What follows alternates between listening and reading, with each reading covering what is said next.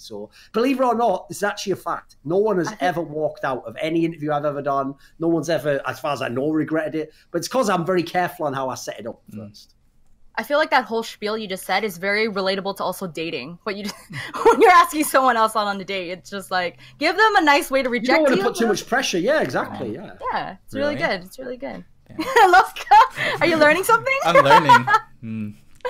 Loco, like what you don't do, mate, is you don't just say like, "Hey, um, are you free like any day this week?" And then they're like, "Oh, I'm not free on Wednesday. But what about Thursday, Friday? I'm, I'm Friday, Saturday, Sunday." And then like as soon as you say that, like the person's just like, "This guy's a fucking loser. He's got nothing going on." Like it's how you say things. well, no, I just usually ask like, "Yo, I'm hanging out with my friends on Thursday. You should come by." And then like you should come hang with us like as a group because I think like taking a girl on a one-on-one first date is actually like a lot of pressure. Especially... You're one of the big right. Get that soylent gas out again and start drinking. you absolute wreck of a human being. Go on, this.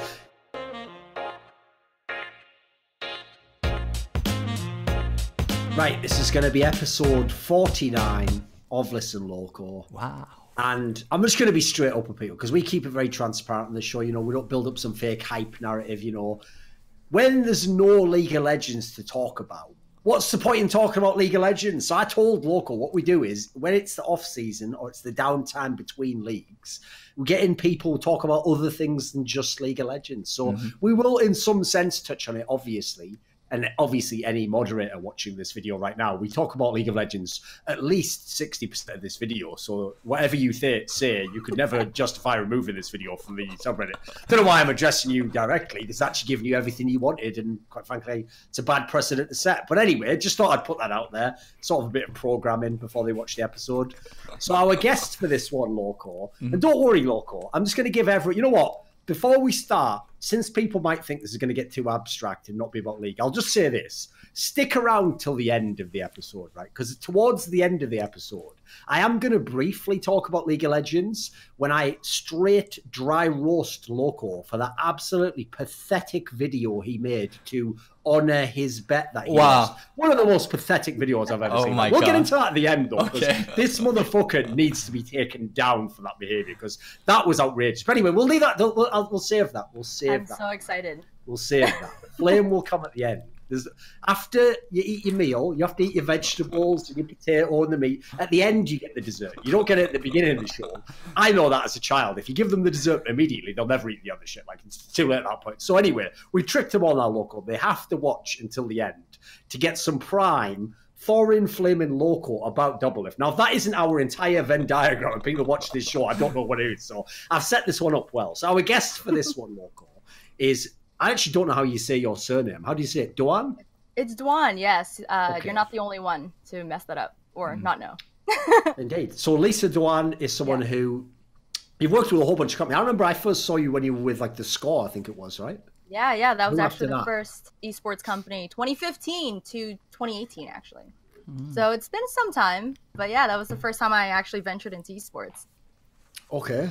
Yeah. And what is your situation in terms of like how do you pick the games that you work with, or how, how in terms of the companies you work with, do they pick which games to cover? I mean, when I started at the score, I just graduated university and I was kind of just looking for any job. You know, when you come out of journalism school, you're kind of like, I'm just going to do any job I can do. Um, but luckily, the people I actually roomed with for university, they were all gamers. So the last okay. four years of university, they played Dota, StarCraft, League, Hearthstone were kind of the big ones. So I was really exposed to it. So when I saw the score was hiring for their esports uh, division, which they just opened up, I'm like, you know what? Let's just do it. Why not? Got the job. And so when they started doing esports, they were kind of trying to hit the top games at the moment, which was primarily League. Um, so that's what we started with. And that's what I did for the first three years of my esports career, just covering League of Legends, going to events, meeting people like Loco, uh, interviewing, do a lot of interviews. There's downsides as well. Yeah, I understand. Wow. Yeah, you know, meeting Loco. Yeah. yeah, yeah, exactly. Yeah. meeting Thorin. Uh, um, so yeah, the last three years I've mainly focused on League. I did a little bit of Dota interviews as well.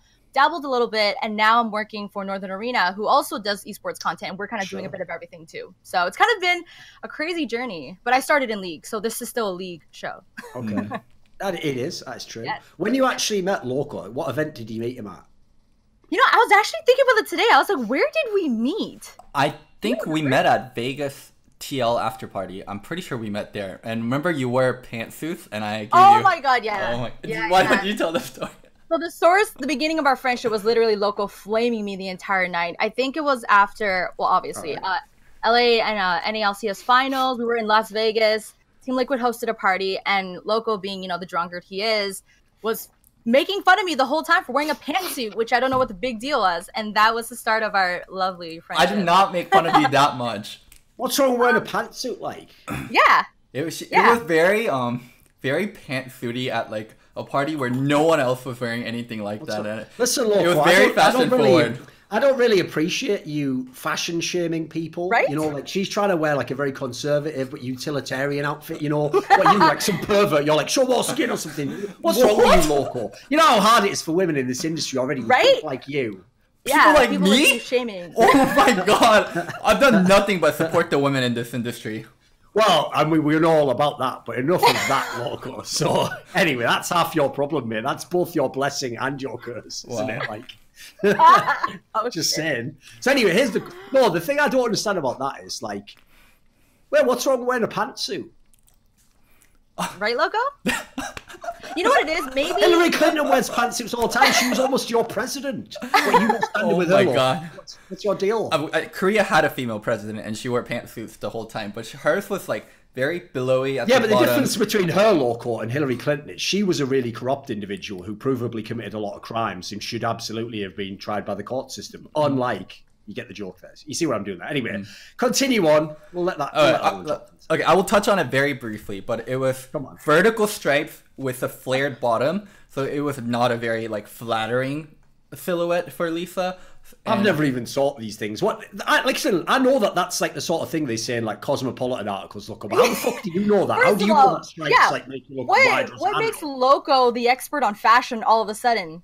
Wearing I your don't know. Dua Lipa fangirl shirt. Like, what is.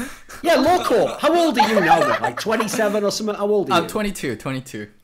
He's like twenty-seven or twenty-eight at least, right? He, he's that old. He talks shit on me saying I'm old, right? But I, I here's the thing. I embrace my. I'm age. 22. I just, I'm I even- I even have the philosophy personally that I don't even think I get older. I just get better because I get more experience in life, you know, like I know what I'm doing. Loco glass of wine. tries to go with this whole angle of like, haha, you are old. It's like, mate, you're still dressing like you're 19 and you are definitely about 10 years older than that. So I don't know where you're getting off at this point in time. Oh my god. Is this what this show is gonna be like? It's Just Lisa Doan blaming me? Oh. That wasn't me. That I was. Exactly. You know? You know? oh, man, that's good. But yeah, no, honestly, I think it was just Loco being nervous, not knowing how to start conversation. Wow. So, you know what? Ultimately, it worked. You know, like, it's fine. it's. Uh, I will not stand for this. Your pantsuit wasn't good. We're gonna That's dig why out you're picture. sitting. We're gonna dig no, out what the pictures. hell? It was super fashionable, and I'm not gonna. You know what it is? It's a difference between Toronto and I think LA vibes. You know, Right. I think Loco grew up West Coast. Girls are very like casual. I'm from a city where you know we can dress up and it's normal. Like it's not a big deal. So I think Loco was just taken back. I think it's it's okay. colder, you know, there's a lot of reasons to Yeah, have to have that is functional clothing. Flared bottom, vertical stripe pantsuit was not happening. Not everyone's out there at fucking Venice Beach like you Loco with all just got like booty shorts on and shit. What are you fucking talking about? Like she's in a party. Seems reasonable to me. Oh Yeah, my exactly. god. Wait, Thorin, where are you from? I am from the northeast of the United Kingdom. Oh, okay, okay. So we're not very, you know, it's not really warm. I'm used to things being put, put it this way. My original look was I used to have a big coat on. Right? Yeah, People all- think I Oh, doing right. Yeah, people used to literally tell me stuff like that's genius. Like I used to get American people like, "Oh, the bloody genius!" The branding. It's like um, it's not branding, mate. It's just cold in the room. Like it's totally logical as to why I'm wearing that. Like I didn't sit around and go, hmm, "What sort of like unique look could I design?" And no, it was just cold. I was wearing a coat and a scarf. Like it was just cold. It's not cold anymore. I've got money now. I moved away from. Yeah. Exactly, Congrats. yeah. Congrats. Mm. Exactly, Still bare bones in the back, but it's okay. do what I can, gradually building it. Like, for example, I am just some shade of blue because for the problem is the light that I actually have that makes it look good is like I don't want that shit in my mm-hmm. eyes for three hours. So I only use that for my own videos. For shit I do with Loco, I just phone it in. You know, I just turn on like a shit webcam mic. I let all the quality go bad. I go whatever. It's not on my channel, so I don't have any quality control issues there. Thorin's definitely been upgrading and moving up in the world. He used to do shows with Monty. Now he's doing it with one of the best co-hosts in the industry. Like he's definitely done a great job for himself. Can we just leave silence there? That's usually no. That you you figured it all out. You're, you're fast learner. what you do is when Loco makes a joke, there's only two appropriate responses. If it's like a terrible joke, you just tell him it's shit. If it's if it's like just average, but you don't want to like you don't want to give it too much praise because then he'll start yeah. thinking you did something good. You just let it die. You just go. Anyway, so how are you doing? So um, how things going? you just leave him on his own. Just, yeah, yeah. Are you drinking Soylent right now? Yeah, why not? You're like a fucking meme of a human, aren't you? So you live in LA. You literally like you look like a fucking clothes horse. There's no flesh to you whatsoever, and you're drinking. You're eating a meal replacement, mate. You need to replace all of your meals with actual food. Have you ever thought of like a fucking steak with some potatoes, some broccoli? Eat that three times a day. Do 15 pull-ups after each one and then you actually might look like some sort of adult human being. What's going on? What's wrong with soylent it's convenient. Are you sponsored by soylent no. Sadly he's not even. That would at least be a cool reason to have it wouldn't it? I know what you mean. Like if he was that'd be pretty cool but he's just drinking it now because he actually unironically thinks that that's just reasonable to just be drinking like Dude, food. speaking of soylent sponsorship like whoever's like the charge of marketing for Soylent, mm. like they were giving out trial like sponsorships. They're like trial versions for people to try out to like just random girls on Twitter. I'm talking about random girls on Twitter with like thousand or less followers and like 10 or 20 viewers on Twitch and they would get like these packages of Soylent and then to Are you ready out... for where this is going? You can already see where this is going, right? It's going to go to like, well, where's my sponsorship? I've got like at least I reached followers. I reached out to them at, about a sponsorship, and they're like, "Oh, we're currently not looking for sponsorship right now." And while my timeline is spanned by girls like just like drinking Soylent, oh, thank you so much for like letting me try. I'm like, I've been drinking Soylent for such a long time, and I have a platform. Why don't I get a Soylent sponsorship? Oh no, you went the wrong way, Loco. You're, Loco doesn't understand the industry. This is how you should have spun it, Loco. You should have said, I see on Twitter that you're sponsoring a lot of young women in the esports industry with, on their social media. Well, I actually spend a lot of my time hanging out with young women on social media. Therefore, I could, you know, make, let's put the two together. Give me the Soylent. I'll hand the Soylent to them as I take my selfie for Instagram. Mm-hmm. I'll do that. You gotta, you gotta yeah, you gotta go. Time. You gotta go the path of least resistance, Loco. You gotta use what they're trying to do against them. Mm. Let's get to the actual meat and potatoes of the show. Let's talk about something you don't know about. Okay. Let's talk about esports. Yeah, exactly. Yeah. well, that's the only way it would be the meat and potatoes, isn't it, Loco? Just metaphorically, obviously. Let's talk about esport media and kind of yeah, what's going on in esport media. That's your intro. That's what you start with. Alright, I'm, I'm, usually not the host. Don't worry. Why don't you go ahead? Why this is you... the first time right. I'm like on this side, so I'm like I actually get to relax yeah. and just like answer questions, but you freaking started the conversation like that. I'm yeah. sorry. Oh, no, sorry. You know, sometimes, I'm sorry. Sometimes when you do an interview, you know, you want to throw like a very general question so the person has a lot of space. He didn't even give you any area. He was just uh, like, I know the oh, media. You know the I, entire field of esports. What do you think about that? Okay, okay. I know the perfect. How are you feeling, Lisa? Let's start there. Ooh, spicy. Uh, All right. I, I appreciate that question. However, I would like more context, and I hope that it's personalized to me. That would make me feel more comfortable that you actually did your research. Okay. How do you feel about doing shows with with content creators that are much more bigger and successful and better looking oh. than yourself.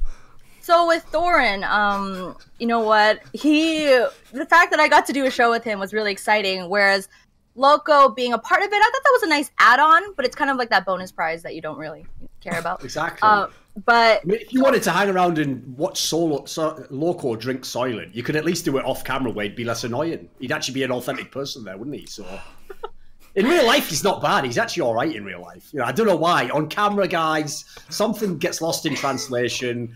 This guy appears. We're all doing our best. We're trying. It's this is like, sort of like a. It's like the 49th episode of Invention where I'm just trying to like. I'm like Morpheus trying to get this motherfucker out of the matrix of being just a mad soy Actually, boy. I'm curious. So, Thorin, you've been doing the show with Loco for a while now. Have you seen yes. his kind of growth since episode one as a host? I actually have. I have seen some. Like, here's the thing: he spent at least the first three or four episodes genuinely thinking that like he was being attacked personally every time we flamed him. you were attacking like, me personally yeah, in a way. Like, here's the thing: I, I, wouldn't really go that hard at people. Like, so, so, like, it definitely was just in fun. So he definitely learned some of that over time. Another thing he did that was really annoying early on. If you if you're someone who's obviously hosted podcasts and stuff and interviews, you'll appreciate this.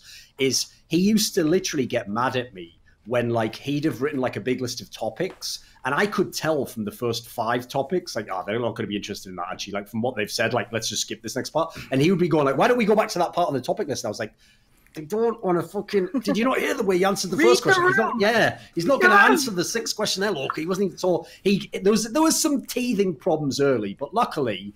Eh, I mean, I'm not going to lie and say like I brought him along slowly. I just straight up told him like, "Shut the fuck up! You don't know anything about this Loco. I've done this my whole life. You're you're a fucking tourist here. Just stay in your lane." So I, I, you know, I was a bit of a harsh parent. I won't lie, but I think he responded well to that. You know, That's what you know, it's funny because just Loco, like I've interviewed him a couple times. So on the other end of the mic, he's very good at giving a good interview. Sure. You know, like he gives you the perfect mix of mix of like analyze, good quality content, but like a little spice. So like you get a good quote out of him. So he's really good at that.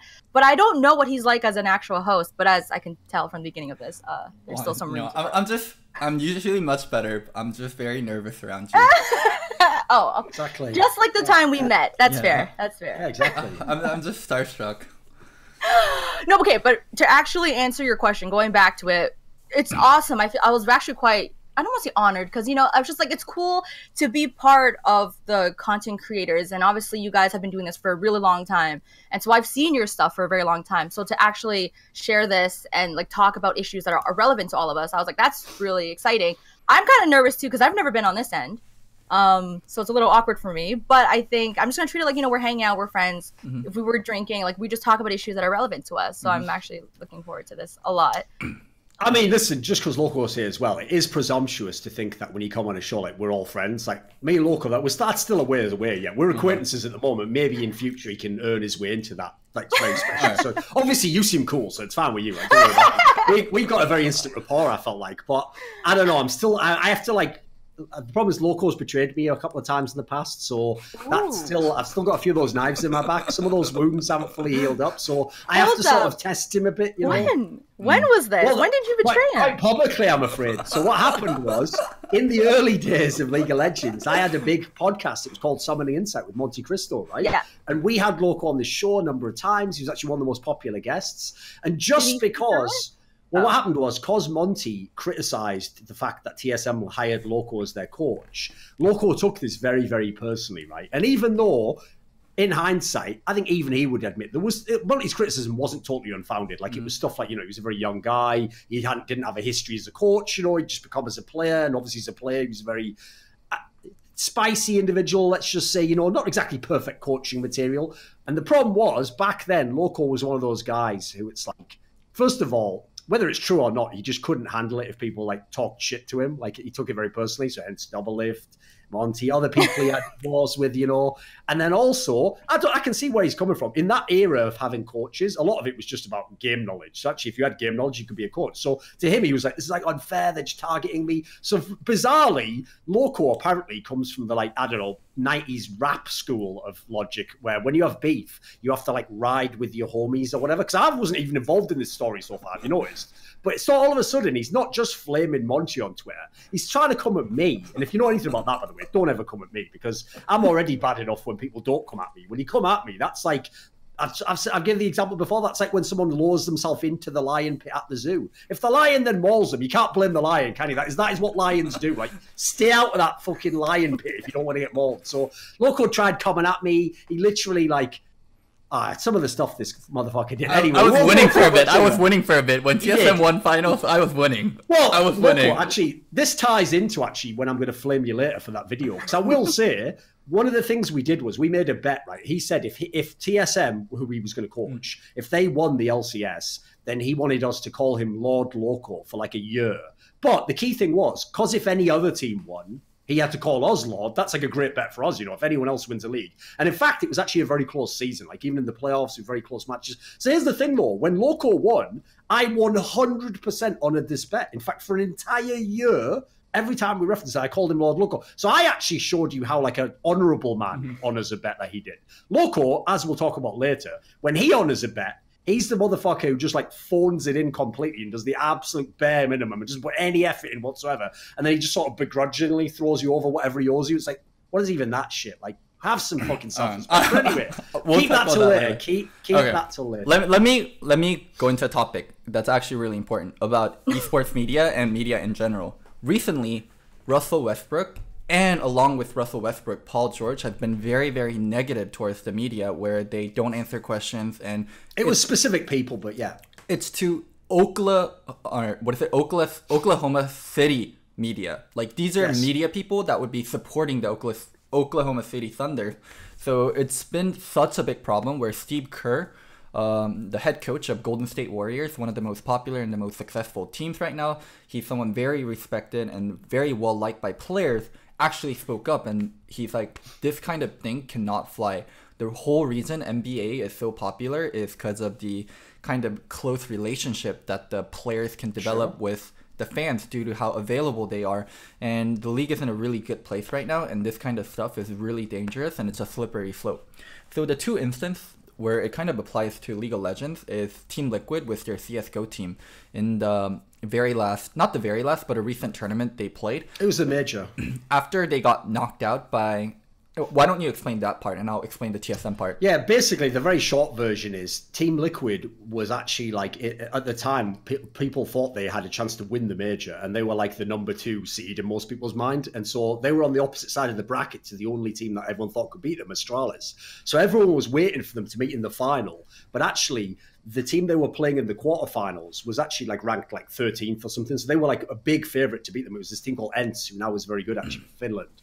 But they, because they shockingly got beaten basically in the match that in their minds was like, oh, well, we're definitely going to win that one. And then, yeah, we'll probably win the semi final. And then like, they were sort of thinking ahead in the tournament. So because they got shocked so early, and they had such high expectations, they just cancelled all their media obligations basically and said like we won't do any interviews. The obvious reason being like they'd been massively upset, so they obviously they thought to themselves like we're just going to look like idiots or we're just going to like who wants to get asked questions when we've been knocked out. But the problem with this, as as to tie it back in, is obviously even if you lose like that, people still want to hear from your players. And, mm-hmm. and, obviously for the team, people want to know what's going on with the team.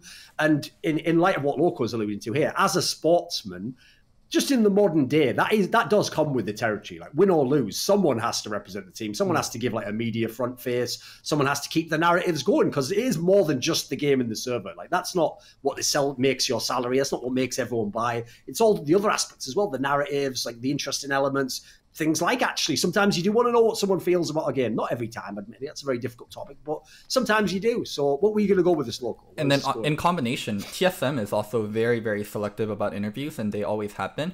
So recently at LCS, um, they've only been giving interviews to the three biggest outlet. It's been Inven, ESPN, and Travis Gafford, and that excludes me. So I've only gotten one TSM interview throughout last split. Um, one with Tony. They just certain teams and certain parts of esports and sports being selective with media, it's I think a huge problem um, for the scene overall and for the growth of the scene overall. Yeah, 100%. I agree. Um, at my time at the score, even then, I remember there were certain teams that were really, really difficult to reach. TSM being one, Cloud9 for some reason also being one. Um, and that made it really hard because one, they were the biggest teams in NA, right? So not being able to talk to them made it so difficult for us to reach a wider audience and honestly kind of put it really turns like the media off in a sense. And the media are the people who are delivering the players and their stories to the people right? So when teams do that they are giving a really negative impression of their own team. But the thing is i feel like they feel like it's okay because now with every esports team they have their own content team right? Mm-hmm. so they want to control what is being said. They don't want to put that in the hands of a third person party like media who may ask a question that caught like catches someone off guard and then they say something dumb and we see this happen all the time. Totally understand, but it's almost like a distrust with media. And I don't know if that's a thing that's just because esports is so young. Whereas with traditional sports, there is that kind of standard how to do interviews when someone loses. So journalists are kind of more respectful, whereas maybe in esports since they're the journalists in it are kind of younger, they don't know how to do that line carefully and be sensitive and therefore it just creates like this loop of distrust and then it just it keeps going. So i agree with you that this is a really big issue but is it something that we actually can command or control as media? Probably not unfortunately especially with teams doing their own like documentary series. They release their own content. The audience is happy so they're not really demanding on behalf of the media that you know that we should be able to speak to them. So there is really nothing in a sense that the media can do. I don't know if you guys have any ideas in regards to that. Yeah. I mean, Loco, in a way, actually answered that himself, if you think about it, because he didn't say TSM does no interviews and they only do our reality. He said they do it with the three big outlets, which and then he listed off ESPN. So, like, so as long as you are a big outlet, they acknowledge that they need some media outlets, etc. Mm-hmm. The problem is, and I would say this is a big issue in esports journalism entirely right now, is you don't have many big outlets like there are a lot of people who are trying to do it who are hustling who are on a much lower level. Like Loco's in a bizarre scenario because on the one hand he's sort of starting out as an interviewer, but he does have obviously a way bigger profile than the other people. So he's sort of caught in between the two spots. Because I could speak a little bit on this myself because I literally was on both sides of this equation. So a few years ago, in line with actually the exact time we were talking about when Loco was the coach at TSM, I was actually blacklisted by TSM. Like they literally said behind the scenes, like nobody is allowed to do interviews with Thorin. Basically, this is Loco's and fault. So, you can tell that's a guilty laugh right there. no, it's not. It's not. It's not it me. Totally is. It's not really, but it's just, it's just he was, you know, he was part of the gang back then. He thought they were cool, so whatever. It's all right. I've, he's in my gang now, so it's not like he can fucking talk shit, is it? So anyway, right. The thing about that is though, I actually don't entirely disagree with what Reginald did at the time, blacklisted me, in as much as, like, at the time, I think my social media would have been literally 10 times less. Like, my profile, okay, in the esports hardcore world, people would know who I was.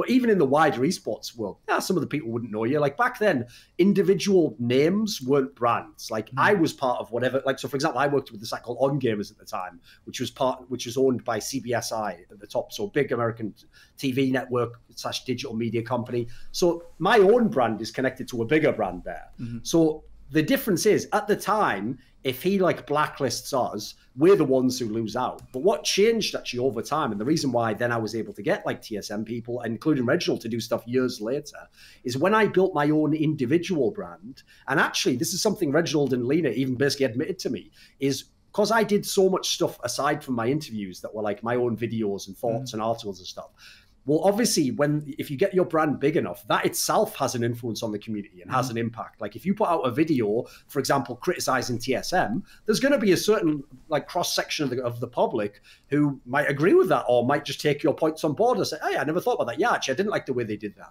So what actually tsm and reginald in this case figured out was in my particular instance the reason it actually would now benefit them to work with me is because that way they got to have some kind of a, a voice on my platform. Mm-hmm. So now the people who are only watching my videos don't only hear my opinion, they get to hear what Reginald thinks. And in fact, if I ask Reginald a tough question, he could give an answer that maybe he gives a great answer that they listen to. So the downside with that is not everyone could do that. It's going to be very, very tough to get yourself to that kind of profile. So I, I agree. I think it's a tough one because on the one hand, I know what it's like with like certain journalists. Like I, am not exactly sure about the case you're talking about, Loco. Mm-hmm. Like I do know that actually Russell Westbrook, famously with a lot of media, has been like very, very sort of like snippy when he loses. Like he has kind of a bit of a bad attitude. So mm-hmm. I could believe maybe he's being unfair on that. There obviously are some media that can be annoying. Like they just ask really negative questions or they fish for like they're trying to get you to say something bad about your teammates all the time. I can get if you like get biased against those people. The problem is if you cut yourself off against most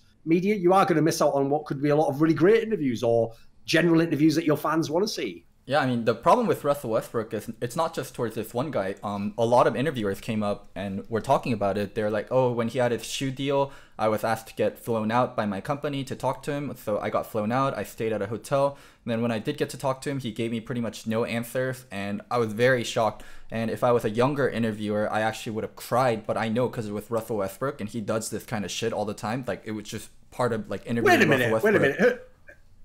So, wait a minute. Why were they going to cry? This is an adult human being, right? Why if they? What world do we live in? Like now, I'm already worried because I was, you know what? Right up until right up until that point, I was on this guy's side. Whoever. Sorry, maybe it was a figure of speech. Mm. Okay, no, no, no I, I, think they were serious. I think we live in a world now where this person was about to go like, "Oh, he won't talk to me." Starts crying and like, like unless you're seven years old. Come on. On this note, I'm actually curious. What would what was your like hardest interview to do? Like whether it was with a player or a team like what was the hardest interview you had to do? Hardest to get or hardest to actually interview? to do. Like a player that was really difficult mm-hmm. or someone was like really emotional.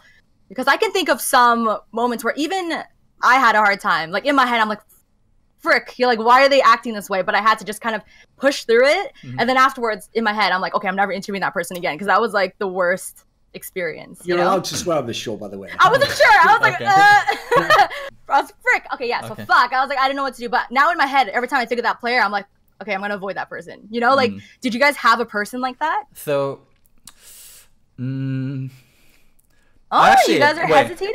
Um, I actually stay away from doing too difficult of an interview. So like there are players I have a lot of drama with, like most notably Double Lift. So I never asked for a Double Lift interview, and it'll Wait be- a minute, wait a minute. I'm gonna have to call you out on this one. What? Like, Loco, it's possible you're telling the truth right now, but let's be real. If you asked for a double lift interview, he's not saying yes. Yeah, I mean he's not saying yes, There's but no point. There'd be he's no not, point even Yeah, asking, he's right? not saying yes, but I also won't ask because I know it'll be so awkward. So there's times where Doublelift will walk into the room for media to do an interview with someone else, and the entire room becomes so tense and like no one's speaking. Like people are speaking, and then Doublelift walks in because everyone knows about the drama between me and Double, and the room just becomes like so fucking tense. Like So immature, so awkward.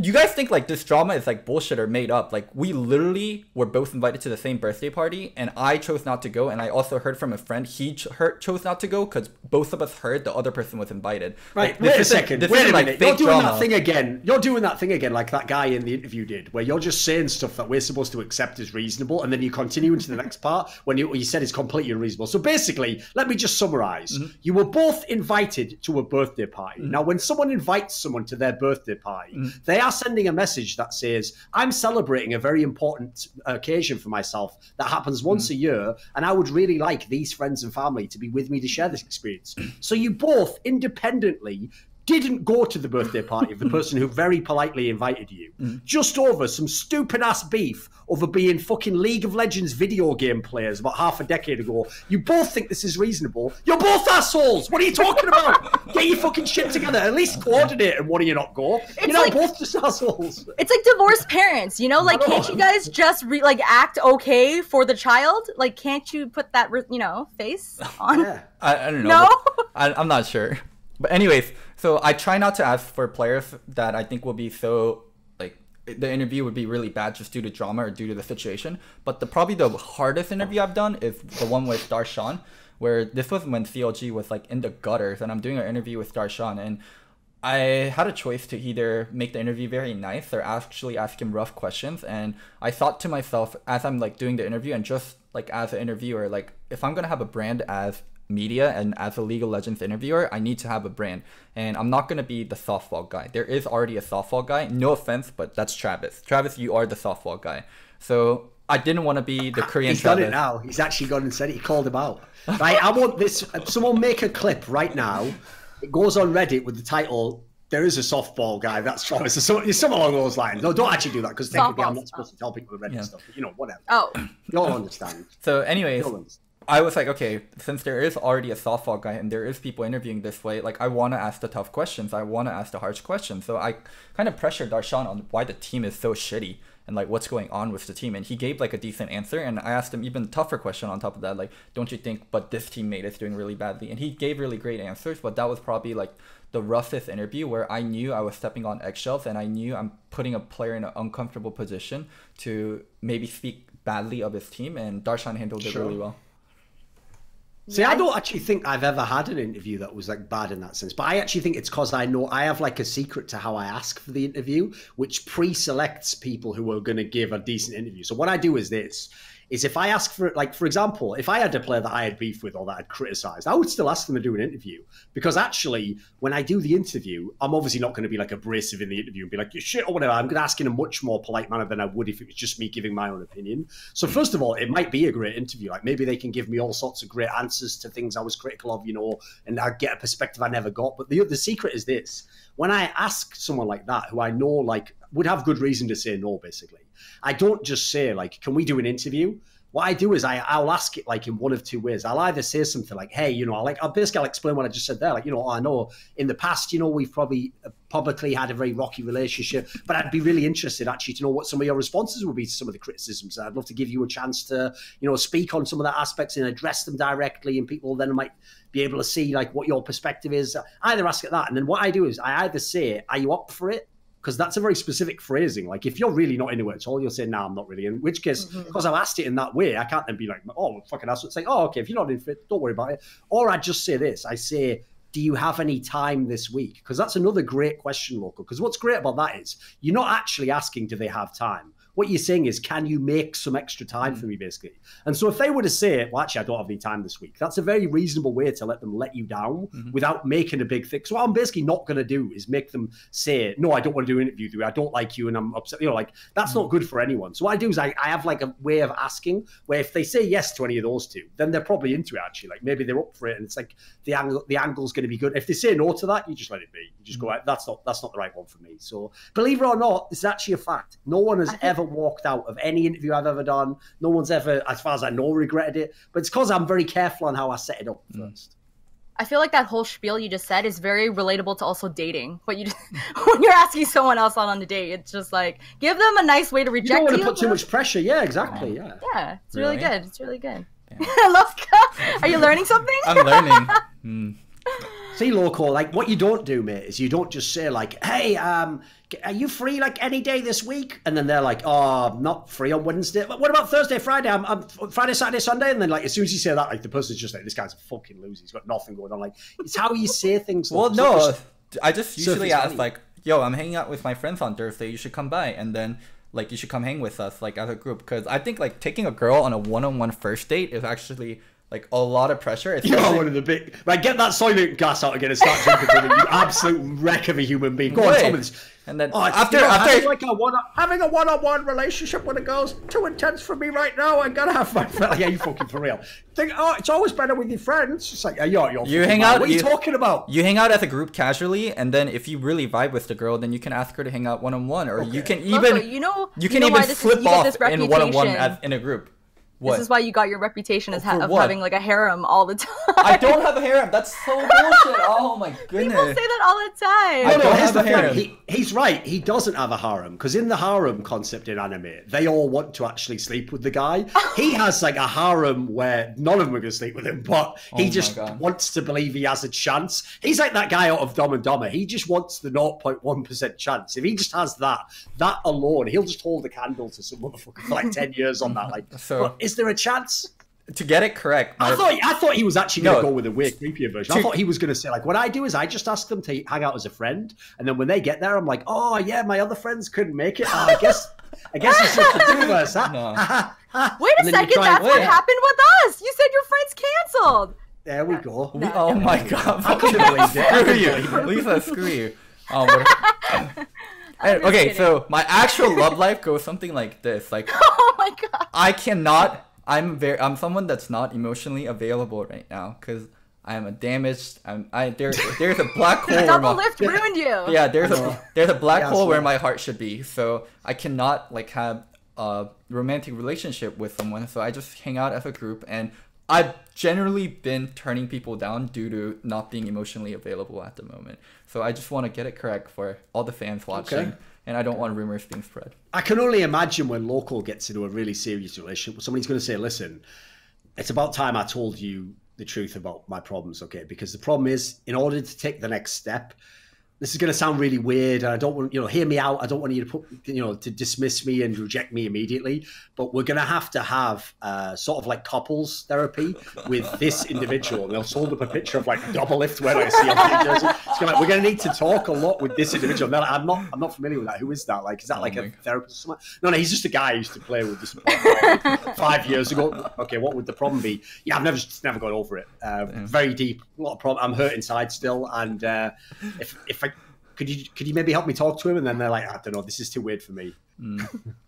well, Lisa, what was your toughest interview? Uh, nice segue. That was barely one. Um, I would double it. Surprisingly, actually not surprisingly, gives great interviews. So mm. just Loco, I think you should actually think about doing an interview with him oh because you guys are so awkward. It would be. I think it could work. Yeah. I think we should make this happen. I'm just saying. But that's a side note. Um, I uh, the two interviews that came up in my mind first First one, do you remember Matt from the support player from yeah, Liquid? I used yes. to coach him. Yeah, uh, I remember one interview. With this stuck with my mind, like in my mind, so clearly. I remember grabbing him. I think it was after a loss. Can't remember who exactly. But the first question, you know, you ask like, "Oh, um, so like, you know, you guys lost. Uh, what did you feel like coming into this match? Whatever."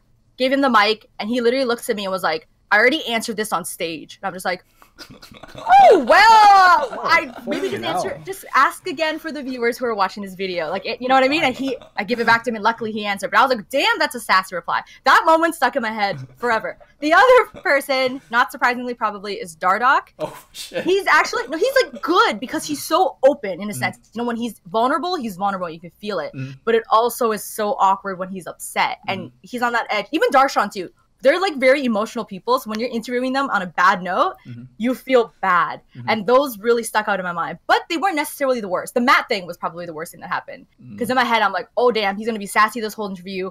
Better just make it like, you know what I mean? Sharp question sharp questions, get it over with, move on, because he doesn't want to be here, obviously. Mm. So that well, was- on the on the upside, he'll never have to do another interview on stage, so that's pro- that's pro- oh! that problem, isn't it? So there we go. There you go, Matt. What do you know, karma?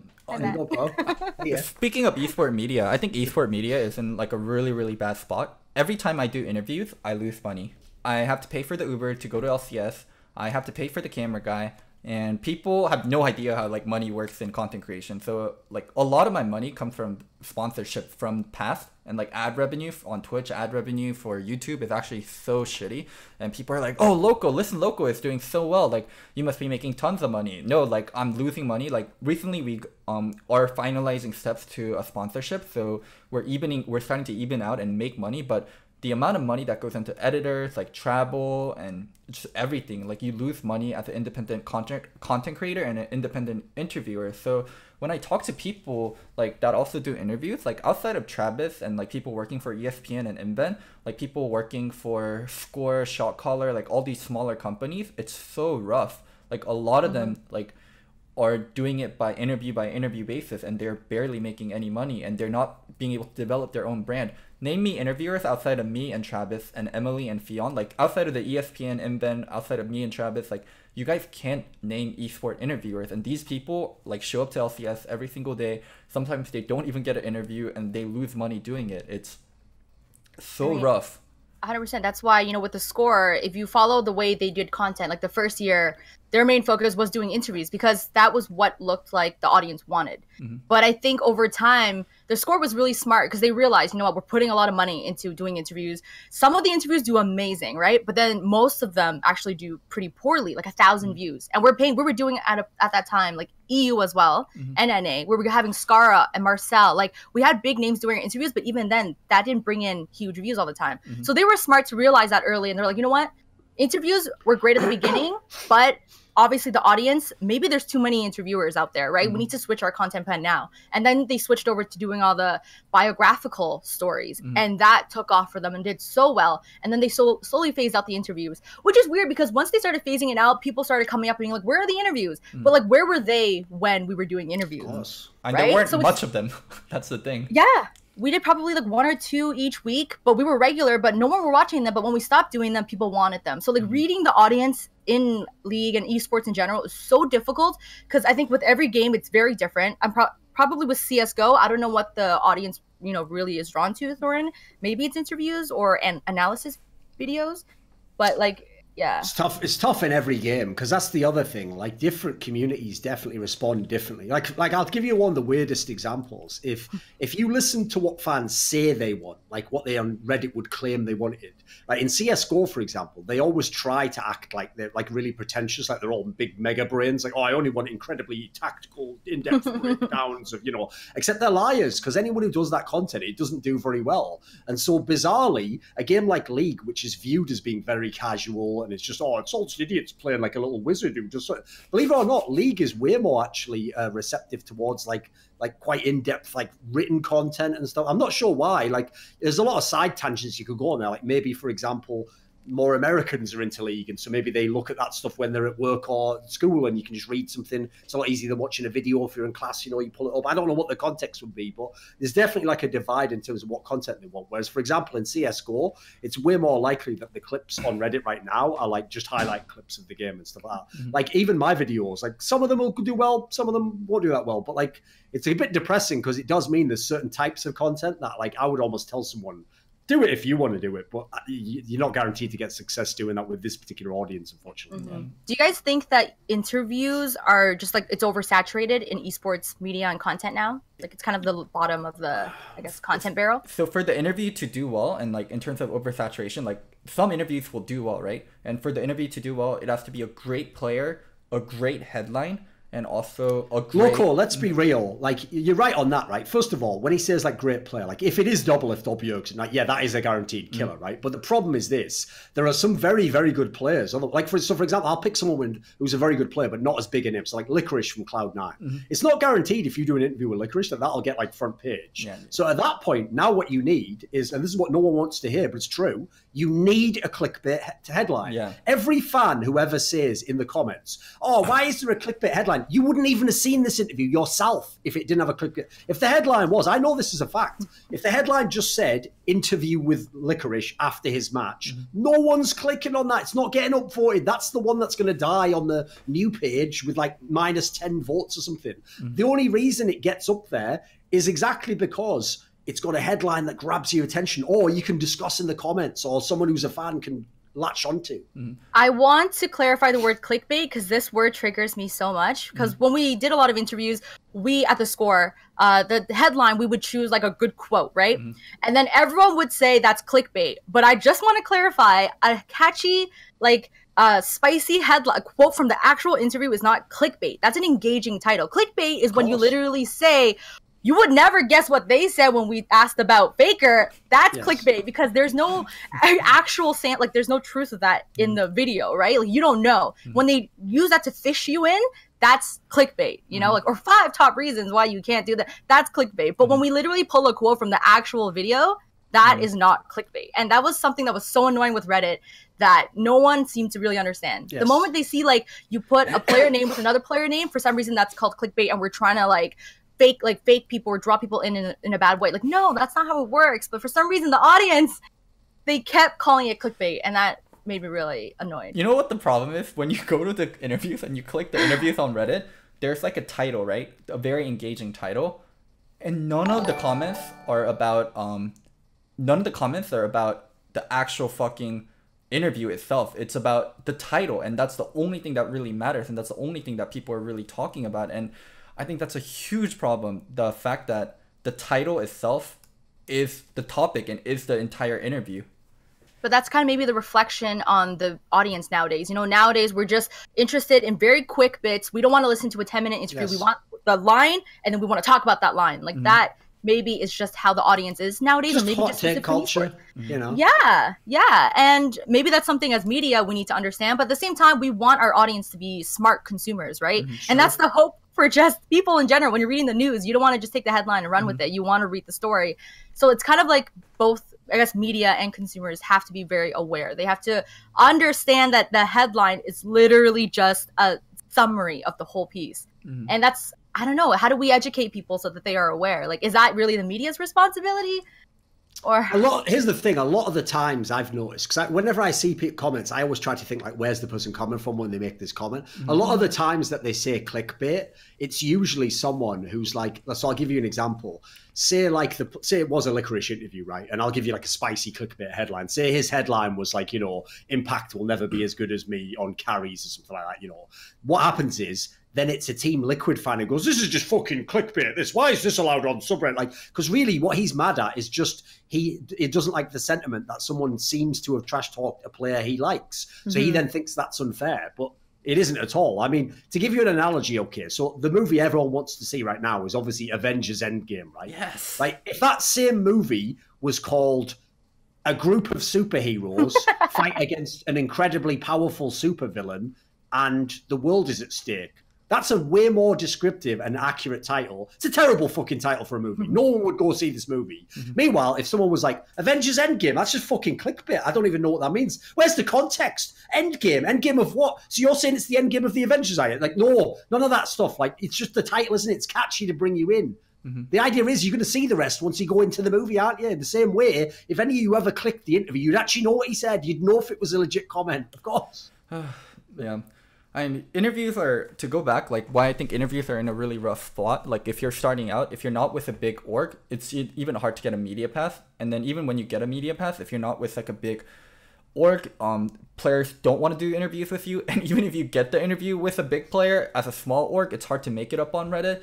There's just so many things that are preventing interviewers from like actually getting into the space. And I've been very lucky and very fortunate that team I have previous connections with teams and they've been um, giving me interviews with players. I really do appreciate it, and that Riot has been giving me a media pass. But I can't imagine like anyone else trying to start and be an interviewer in this space. Let's let me ask you this: Do you think Ovilee would have been successful if Travis didn't help her? If Travis didn't give her the platform, and if Travis didn't kind of give her the connections required to get interviews with players and like put her face out there and put her stuff out there, she would have never been successful.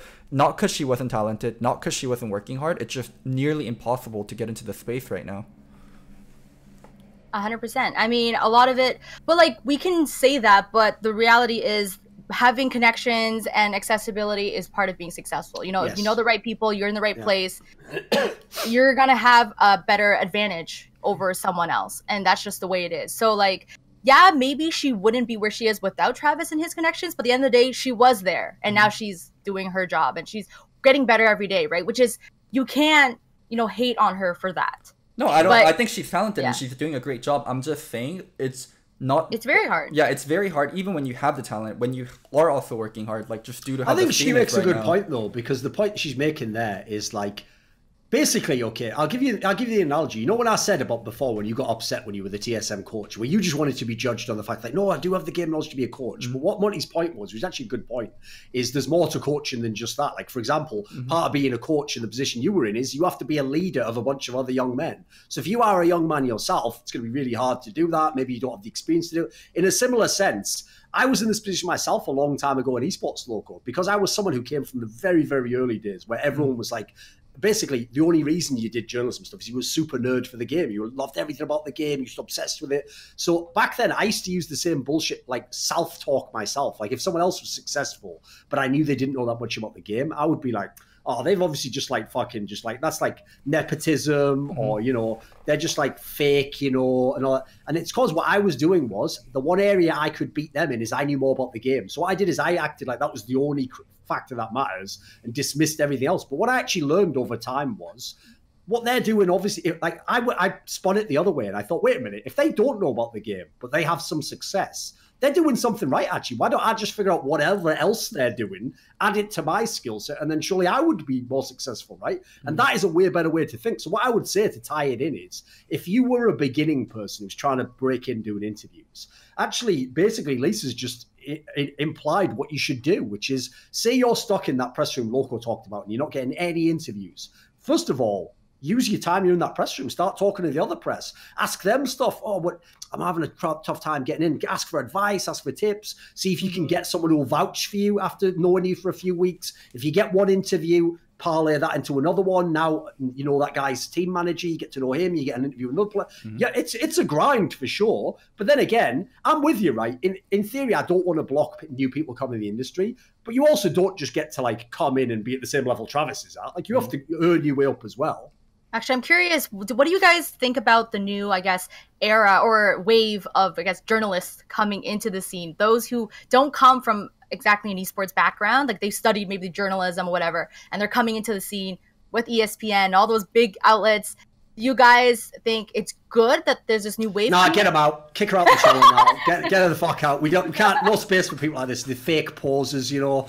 No, the thing is, actually, there's a lot of people like that. that by the way, that is a sign. Mm. I know at the moment, because media in general is doing badly, that's also one of the things that has a knock-on effect on esports media because there's so little money to invest.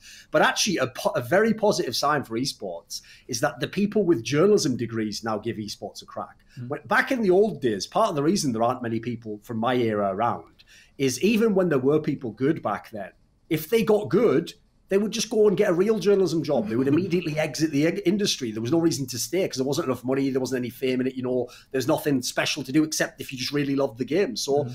actually, I think personally, it's a positive that people who actually, in theory, want to just be journalists in general, then say, "Well, I like esports games as well, so I'll give the industry a crack." The only problem is, I will say, like a lot of them seem to struggle immediately because they think it's like it's like every other job, right? People who go to college always, because they haven't had real life experience, think, right, going to the university is what's going to get me my job. They think, right, when I get the degree, the employer will see my degree and they'll see, right, that's like my foot in the door. And the problem is in esports, like your degree in journalism doesn't really help. It doesn't get you the first step in. You still mm. start at zero. So it's still good. Like you've probably learned some skills that if you had no skills at all, you'd, you'd be way ahead of them. But mm-hmm. I don't know that it gets you your foot in the door still. I think that part's the tough part is to get your break, basically. Mm. Mm.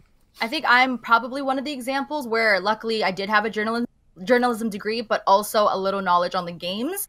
Because I remember in my interview at the score, um, you know, they asked about my background, past jobs, and mainly they were like, which which team is your favorite? Who's your favorite player? Which game? Like they then started kind of honing in on like the games and the teams. Like, do I actually follow, or am I just here for you know a job? Do I actually have a passion for it? So it's kind of now a mix. They look for both, mm. which then narrows it down a lot but sure. it's kind of cool at the same time. It's like now there's opportunities for people who are actually you know journalism backgrounds, but also gaming background and there's a lot of opportunities for that. But of course, you know that's a threat to Loco, so I know he could be worried about that. But it's okay, you know. Like just keep doing what you're doing, Loco. You're doing great. Oh man, yeah, I feel very threatened, and I'm very glad that you're no longer in the inter- interview space, and now you're in the hosting space. Thank you. Whoa! Wow. Listen, only temporarily. Anytime she wants, she can just dive right in, scoop up all your shit, mate. She'll be getting interviews with Doublelift tomorrow. What are you talking about? Sure, sure. First of all, she actually has an amiable personality. You've got to overcome your personality just doing interviews. You know, like I, th- I think fair play to you trying to work on your weaknesses, but you know. Okay. Actually, that is you know that is one thing though. By the way, mm. that I would actually say is a massive positive. If you want to come into the industry, you're not someone who was like an expert about the game. You didn't follow the game for ten years. I think a strength that you have that I've noticed is you have like a natural enthusiasm when you talk to people. Yeah. So that naturally makes people open up a little bit more, get them into more of like a fun vibe. The problem is someone who comes in if they're like very nervous or they don't know how to like act on camera, they don't have camera presence, for example, which I think you've actually always had from when I've seen your stuff with the score. It's going to be a lot, lot tougher there for them to like make the first leap. Whereas if you have like something like that, like for example, I'm sure when you did your first interviews, especially because you're with like an official media company, you've got, you've got like a, a nice bubbly personality. I'm sure that even just made some of the first interviews they, they just went a bit lighter on you. They didn't think you had to give you a super in depth answer, right? Mm-hmm. I mean, yeah, my first interviews I think was Madison Square Garden NALCS finals. They threw us right in. One. Yeah. Oh, it was so good, but I was just learning the game. Yeah.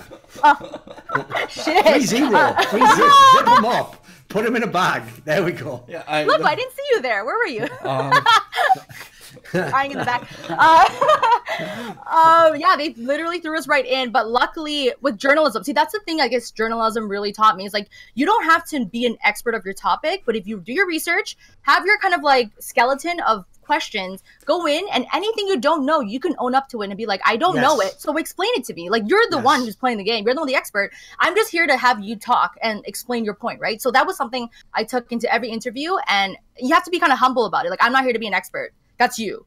Mm-hmm. Talk to me about what your expertise. So luckily that worked for me and i think that's a journalism i guess strength right you go into every interview you don't have to be an expert just know as much as you can and then just talk to them they're a person mm-hmm. treat yes. them like a person which i know some people find it hard to do if you're not uh, trained or just naturally like that so as a content creator it's really important to just don't get stuck in your head you're talking to a person anything you don't know just ask you're literally there to ask questions mm. and i oh. guess yeah, go ahead.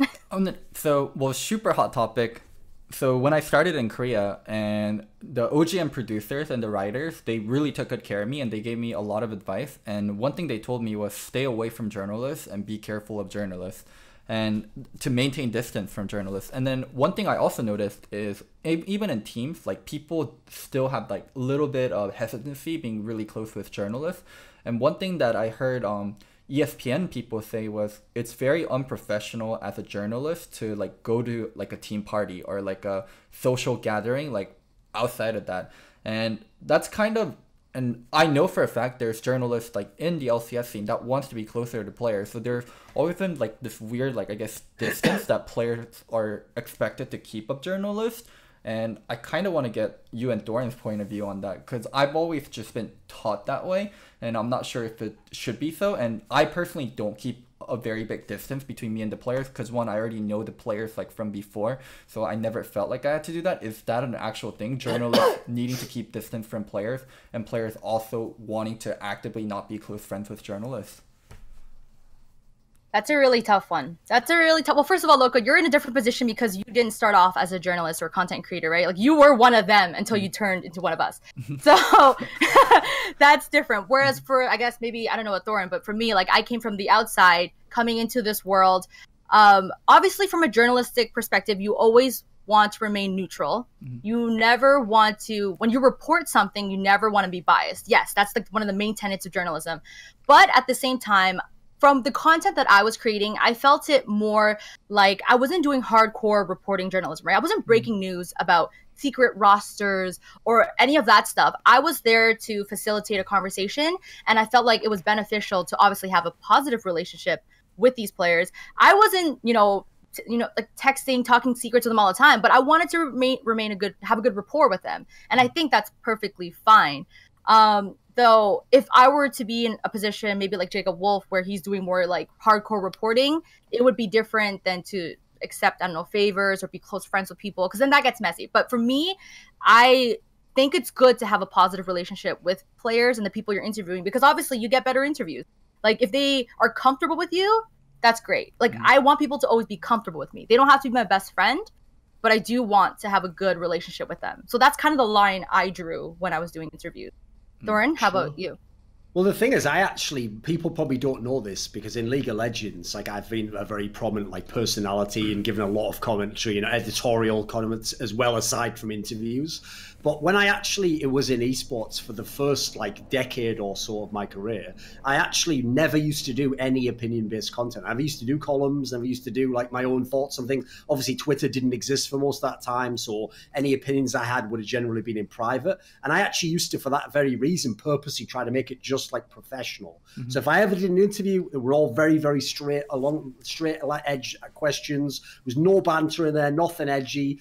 And I will say it definitely made it so that, like, for example, like I never had any problems with players. Like no players turned down interviews. So it was great in that sense. Like it maximized the reach that you had and how many people would do it. But the problem with it was over over time, I started to introduce other aspects like giving my own thoughts and things. And I did notice very quickly, like, yeah, obviously then it pisses a player off and he doesn't want to interview with you. Or someone does an interview and they have a different attitude when they do the interview with you. So I will say that like it's like you it's like you have to weigh it up as a compromise to be made there like in my opinion if you want to also give your own opinions you're going to have to basically accept that you're going to lose some potential interviews as a result. Like, if you only want to do interviews, yeah, just stay 100% like, keep it totally clean in that sense. Don't let them know if you like or don't like them or what your biases are. But since I wanted to do the other stuff as well, it's like that comes with the territory. And then the last thing I'd say is that's why I made the very clear distinction earlier that it's very different when I interview a player, how I would ask him a question, than how I would make the same point if it was on a video where he's not there or it was like a talk show like this. Like, difference is if I ask a question in interviews, I'm almost never gonna like really press the point too much. Like if they, if like for example, if I ask them a question and they dodge the question, I might say, well, you know, like you didn't really answer the question and ask them again. But like if they just make it clear, like I don't want to answer this question, or all I'm gonna say, then that's it. That's the end. Like, mm. you, you, can't really force them to answer you. You can't be too kind of argumentative. So I would just say in interviews, I go into it already knowing like I can't be like my persona in the interview. So there's it's a, it's tricky. There's a lot of like it's like you've got to really know where you're at to know how to respond to people. But I would say, as general advice, it's good advice. Like I actually, I know I've, I've told Loco this in the past. It's the same for coaches. Mm-hmm. One of the biggest mistakes that people made in coaching early in League of Legends is because all the people who were coaches were ex-pro players. Mm-hmm. So they came, they were not only came from the community of pro players, they they still thought they were in that community. And so there are some mad stories from the early days of LCS, both EU and NA, of stuff like the coach and the player are both chasing after the same girl at an after party. Like that's just a recipe for disaster, no matter who wins out there. Like think it through. Or you know, one of the coaches is now dating the ex girlfriend of one of his players. It's like these are examples of where, like, you know what? I'm sure there's a scenario where that could work, but like you can just see as an outsider, like that's not even worth the hassle for anyone. Like just stay away from all that because the potential for that to ruin everything is so so huge. Lisa, thoughts? But that's actually hilarious. Loco, why were you laughing so hard, huh? because you were laughing and it was a funny joke. I wanted to just laugh. You know, it's social cues. Follow along. joke or you have stories to tell? Because see, my journalism vibes are tingling there. I can tell there's a story. No, I, I, I, I did have a very. Mm, I used to be a lot more looser in the past regarding people I was seeing and people I was dating, and then once oh, I. Shit. keep going. Oh, sorry, did I react there? Keep going. Yeah. That was supposed to be internally, yeah. So yeah. And once I realized like how much drama it was causing and how like shallow these relationships are, just for me and also for the person after me, I was like, I yeah, what? What? Right. Listen, I couldn't believe the first part that yeah. you actually realised, you know, this is destroying some of my like work relationships. I've got to be more professional. The part you tried to add in there, where it was like, it was just a lot of meaningless sex as well. You know, no, it was just shallow. I've it was just shallow as a relationship. I've transcended these like superficial uh. relationships. You know, I want like a spiritual connection with someone. I want someone who appreciates me for who I am not just like who I'm trying to be in the club, you know. And so the thing is, like, I've just moved on as a person. Like, that's that. That was some. But listen, save that shit for your diary, mate. We don't need your lies and your justifications. Keep with the truth. So anyway, you couldn't get any of these women anymore, and you realize that is, I'm, I'm oh ruining everything with my players. So oh Reggie's told me this is my last chance, and, this, and third three strikes and I'm out. So as long as I can stay in this one, this is fine. Oh my god. And I mean, should I? And but, I'm, but, but the thing you. is, Reggie, I'm not gonna I'm not gonna unsubscribe from their Instagrams. Can I still like their Instagram pictures? Who am I? You like Thorin? That's you. You're the one. no. Here's the thing, though. Here's the thing, Loco. And you and as we mentioned on the liquid oh. pyro um, topic, here's the difference. The reason why it's not weird when I like Instagram pictures Loco, it's because I'm just up front. I like the pictures. I, I, I like, like the girls I women. like, but yeah, exactly. It? Okay, to get... I like seeing attractive women, hot women. Oh my god, women in general. Like love women. Don't know if you're aware of that. Okay. So if I see a good picture, I'm, I'm not I'm not sitting back like oh racking my brain. Oh what what message will they take if I put a like? I don't give a fuck. I hit the little like and I move on my day. Okay. And if they're sat thinking about it, guess what? That's their fault, isn't it? So they better level their game up like oh my fault and get back in the game. To get back on topic, I felt like but if it dating within esport had its cons with it and also as a coach and also just as someone getting older i felt like there i wasn't getting a lot out of it. So i made sure to maintain distance from people in esports and i usually dated on um, friends of friends that i know outside of esports or friends of friends of friends where it's beyond esports. And it is incredibly messy dating in esports uh, yeah, I think that's obviously a symptom of you know esports going through that transition of being very like gr- grassroots to now professional. So you obviously went through that whole phase, and now you realize now that you're working in this and it's a job is on the line, your reputation's on the line. Mm-hmm. It's not worth it to get emotions and all that messy stuff, and that applies, I think, going back to media, like as a person working in the industry, it's very important to maintain that line mm-hmm. where if you're going to be working in this industry, you don't want personal feelings to get invested. Mm-hmm. So that as well. Speaking of media, as a woman in this industry, every interview Oof. I do, there are always comments underneath being like they fucked afterwards or they obviously dated every single time. See, that's the crazy thing, right? Just as a but anyways. So the point is it's very important whether you're a woman or a male to maintain that kind of professionalism, that line so that no one can question your integrity when you're doing content. And I think that's By also way, just as an aside, just to make me happy, can people who are watching this chat now, anytime you see one of Loco's interviews, just always put in the comments, like I'm, I bet they fucked this. Like you can tell by the way Loco smiled, they fuck, just to make it funny because it'll be a great throwback to this, and everyone will be like, "What? what? Are they even Wait, together? What? are you guys telling me you guys never get that comment? What? Exactly. not, Shocking. Yeah, not not as often as you, Lisa, but I still do get it, especially when I interview TSM players. I get it all the time. See, maybe the tension is actually sexual tension between you guys. Maybe, Ooh. maybe. Well, Lisa, then let me ask you like then let me ask you this question. So let's say there is like a young female interviewer coming up. Like, would you give them the advice to not date a player, even though that would what if it give her so much like skyrocket in terms of like actually getting to where she wants to get in terms of being relevant in the scene like if they need to grind it out there's a huge chance they don't make it like if it is like two consenting adults, like is there a problem with it? Well, so basically, you're asking me, is it okay to sleep your way to the top? Uh, no, and I'm I not. Say, that's you not are asking that. Well, here's the thing. Let's do both versions. Like, one, what do you think of that as a topic? Because obviously that yeah. is a real thing. Some people think it's a viable strategy as well. By the way, in life, like it clearly works in certain mm-hmm. industries. Mm-hmm. One, you can give your thoughts on that, but I think he just means more like even if you just like even if you just literally just wanted a boyfriend, like you're not literally mm. going to sleep with your boss and go. Up, you just wanted a boyfriend, but the problem is he's a pro player. Mm-hmm. Do you think that's a problem? So there's kind I, of two two questions. I mean, it so kind of is. Well, okay. So the second question, I think it is an issue if you want to maintain a level of integrity as a journalist. You know, you kind of have to make a decision there. If you want to continue being a journalist that has a great reputation, very unbiased, then you can't make that decision to go date someone that you will interview, you know? Mm-hmm. But if you feel it's more important to pursue that relationship, don't be an interviewer or a journalist for a while. Date them, you know, find a job in something else, figure it out. And if that doesn't work out, go back to what you need to do. You know, you just have to decide. It's not an, some people want it all but sometimes you just have to choose a, a lane or choose a path and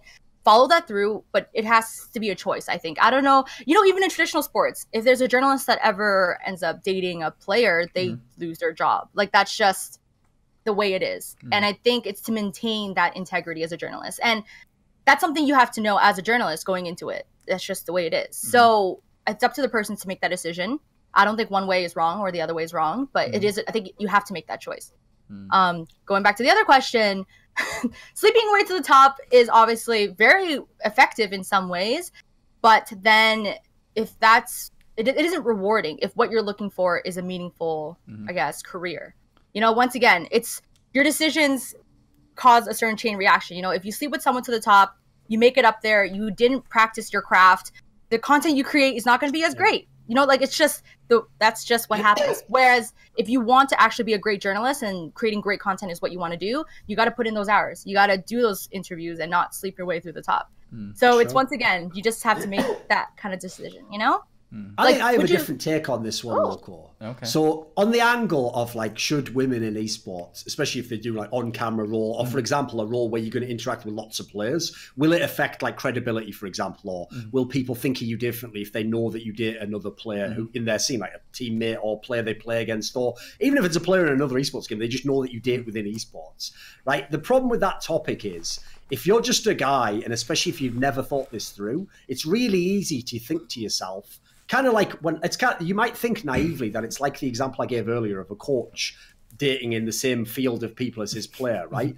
the problem in that scenario is it seems stupid that the coach should do it because you say to the coach, "Come on, dude, there's only like five girls who have to not date all of their girlfriends or their exes. Like, you can date anyone else, just don't mm-hmm. date those people." Like, that's different. The reason why I actually think it's unreasonable to say to women like, "Don't date anyone in esports," is because if you look at how women in modern culture pick who they're going to date, they pick people who are in their environment, who are around them. That's mm-hmm. who they're interacting with. That's who they're talking to. That's who the available available pool of people they can choose from is. So if their life is esports and they're at esports events all the time and their friends are all in esports and every physical event they go to, except like the shops or something like that, is esports. That's just who's naturally going to be who they look at and who they potentially pick a partner, someone to just sleep with, whatever it might be. That's who they're going to pick from. So I don't necessarily think it's like a hard and fast rule. Like I, I think it's reasonable that, that some of those people will pick them.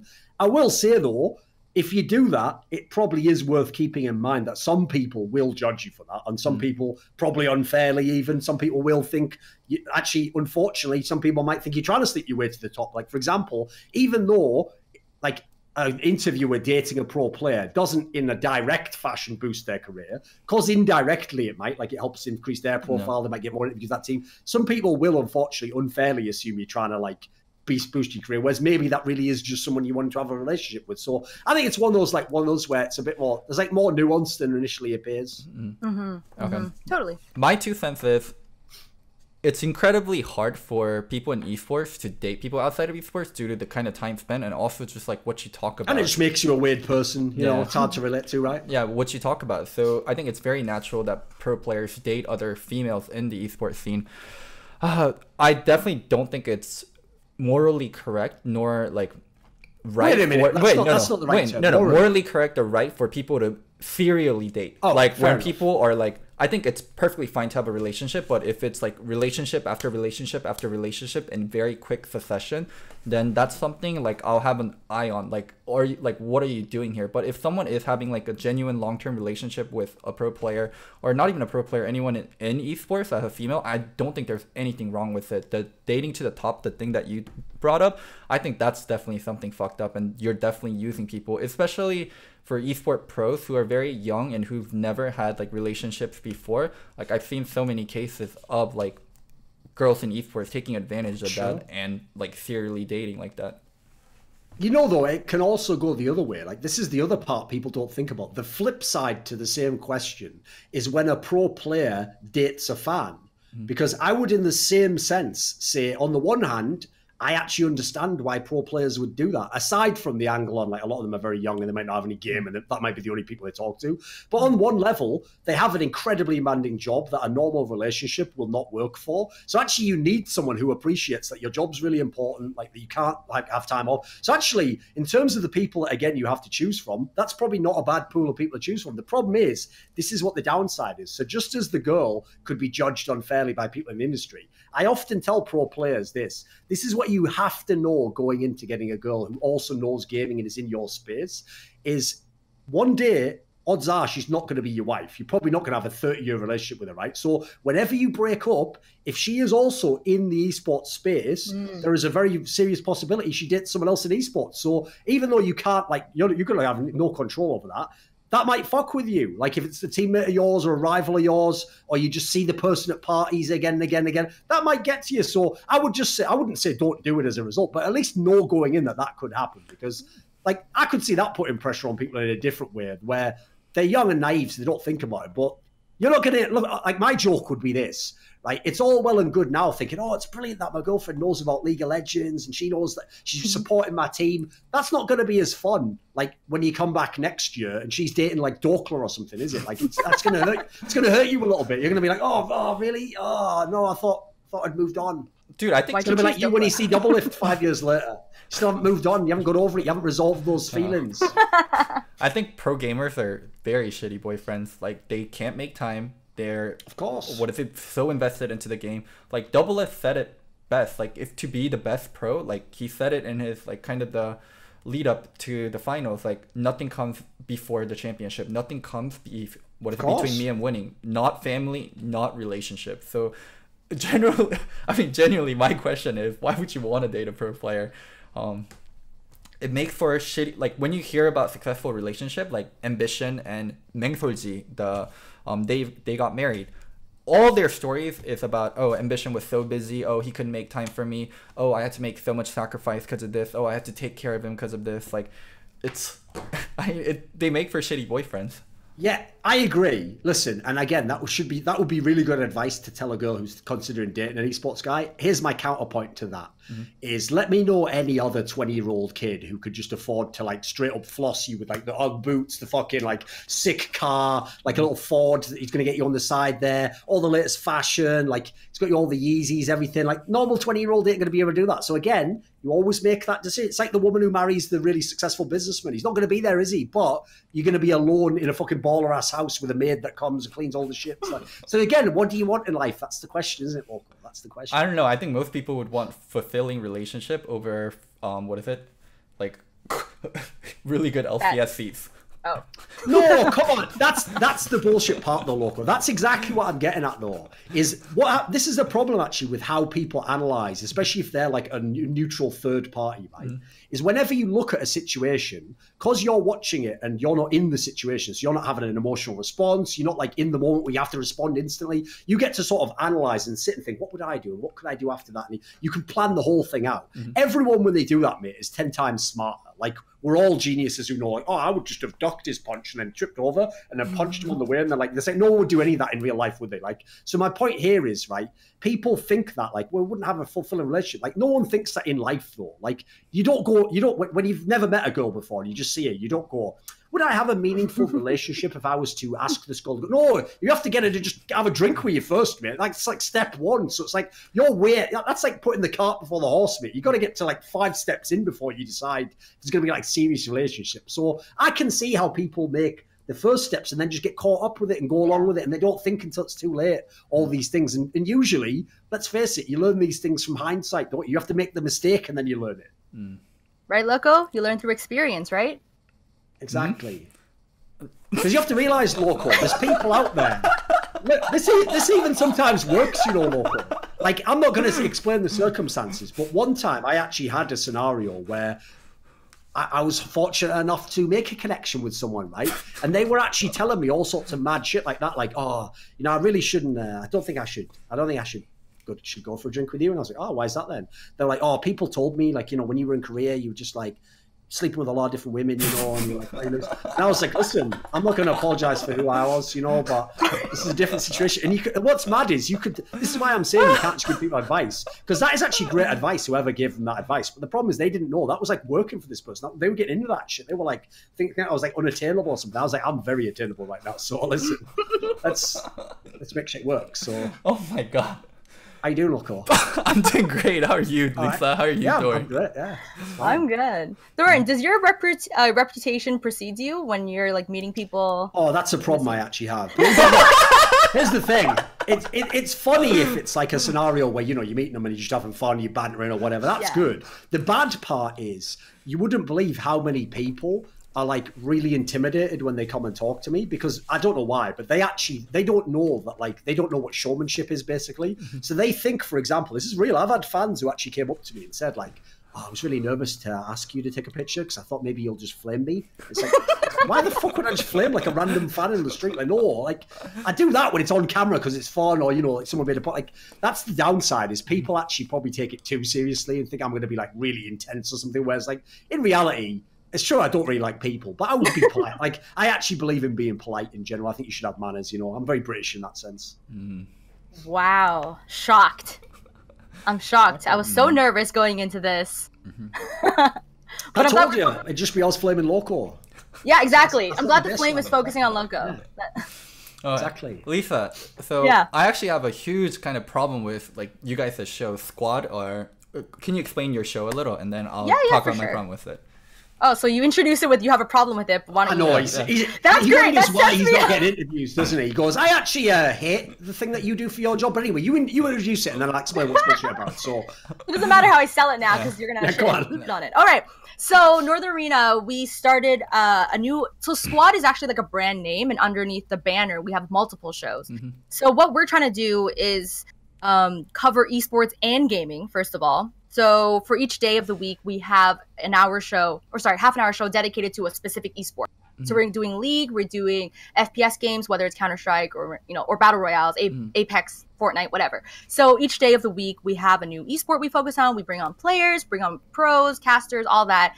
Break down the week of whatever happened, and then we have another show where we take you know topics that the gaming world in general are talking about, whether it's a new game release or drama on the internet between Loco and Doublelift.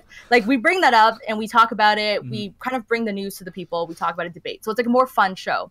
So what we are trying to do is cover a lot of esports, but also general gaming because those worlds kind of, you know, they're part of the same thing, mm-hmm. and just uh, yeah, create content that's entertaining but also informative. So it is, it is. I know it's a very ambitious goal, and we're very new. We just started in Jan- March actually. We launched in March. Mm. So what's your issue with the show? Yeah, like, let's just pause there one second. So that sounded like a very reasonable project. You know, right? I can understand like the, the marketing aspects behind it, even very good in terms of scheduling. Right, go on then, Loco. Explain why you hate this show. Squad State, by the way, you can okay. find us. Okay, cool. So I think most games nowadays are like life consuming. When you play League of Legends or League of Legends is your game, that's pretty much the only game you play. You don't play other things. I think it really started with World of Warcraft, where if you play World of Warcraft, just World of Warcraft is your game. And also CSGO. To play CSGO and to like genuinely be able to enjoy CSGO, you have to put so much time into it. Like the movement for the game is very very technical. Even how you shoot the gun is very very technical. Like there's spray patterns that you have to learn. To even get to play csgo with my friends i had to invest so much time like learning little parts like learning call outs like they'd be calling oh he's on cat he's on cat. I'm like where the fuck is cat? And they're like how do you not know where cat is? Like it's right fucking there. Like everyone calls it cat. So all these games that are esports it's very very hard to be fans of multiple esports. And like for me, someone whose my entire life is to be an esport expert and talk about esports and know esports, like it's so much to just even handle League of Legends. And when your show is catered to a bunch of different games, right? Like for the audience, like for majority of the time I'm bored and then it hits that one sweet spot where you're talking about a game that I like and I personally play and I can vibe with that.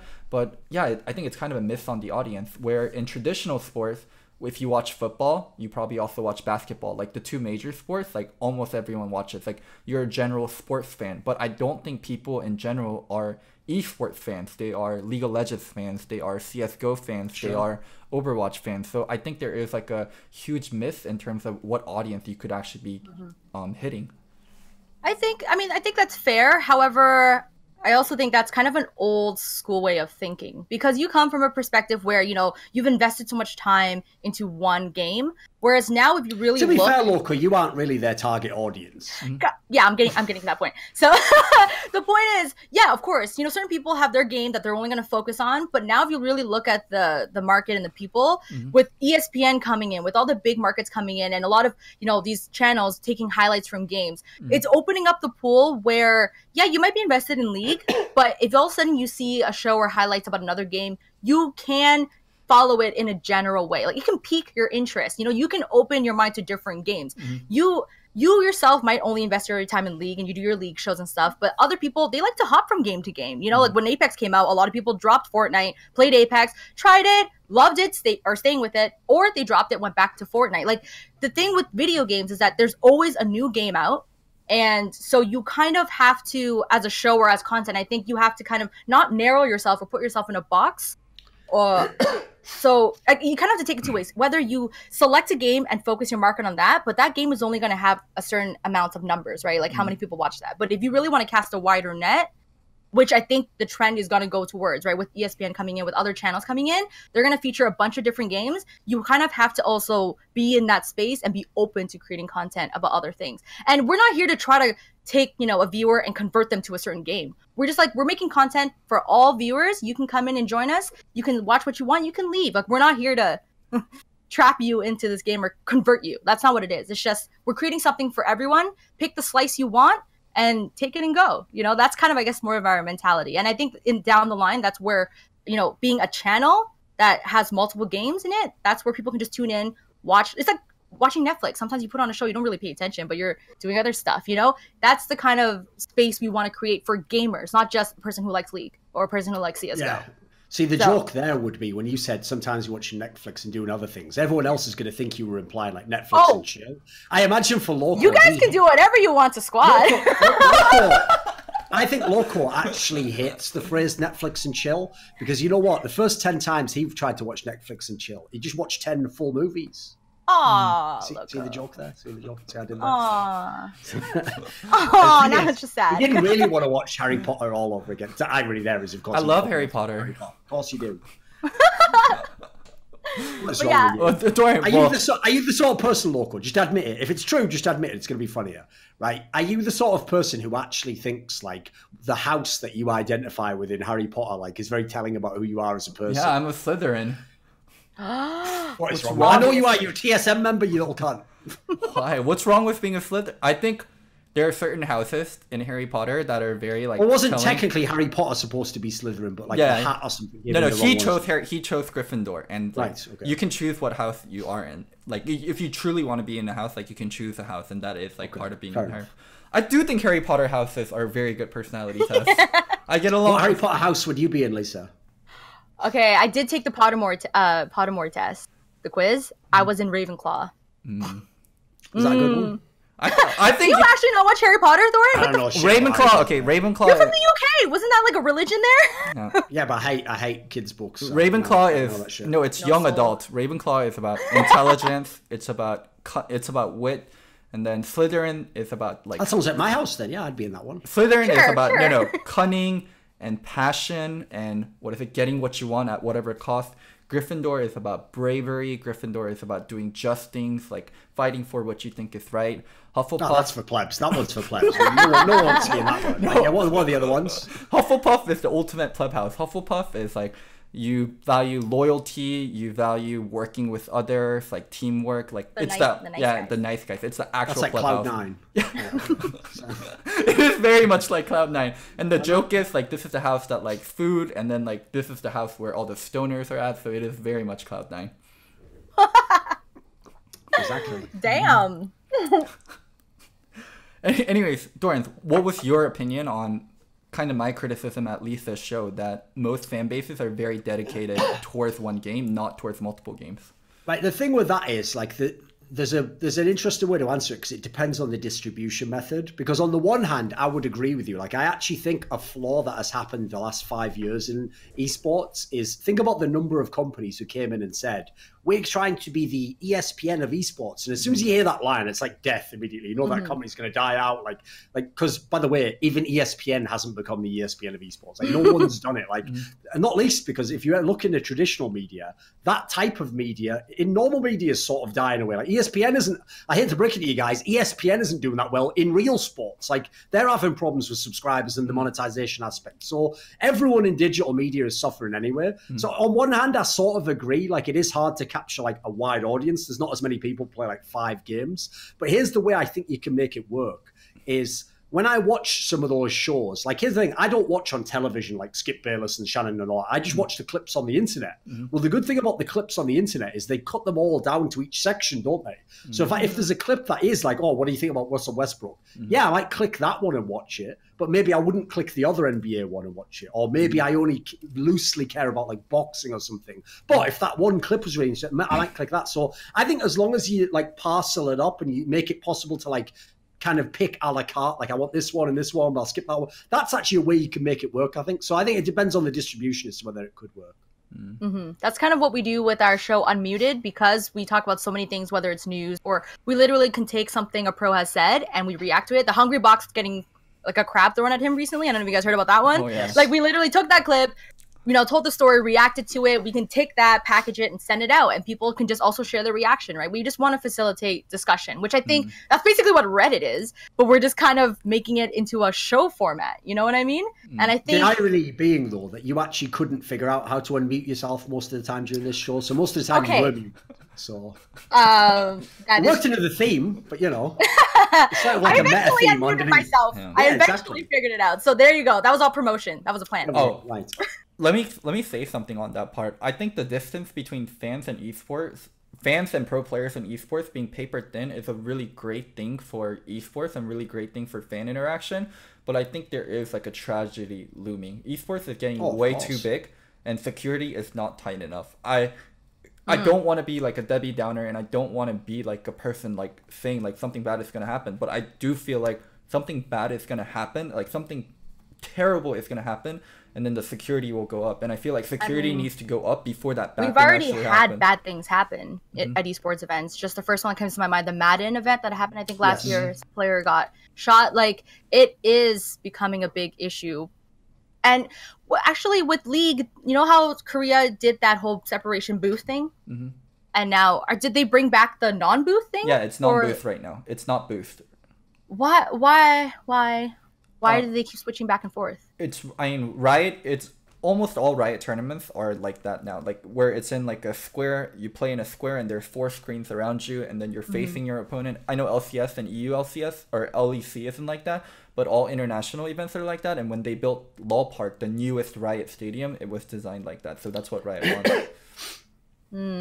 But that's just a side note. Uh, but yeah, it seems like there is an increasing need for it, and I, I don't know. I think the player, the audience, kind of understands if life is really being threatened here.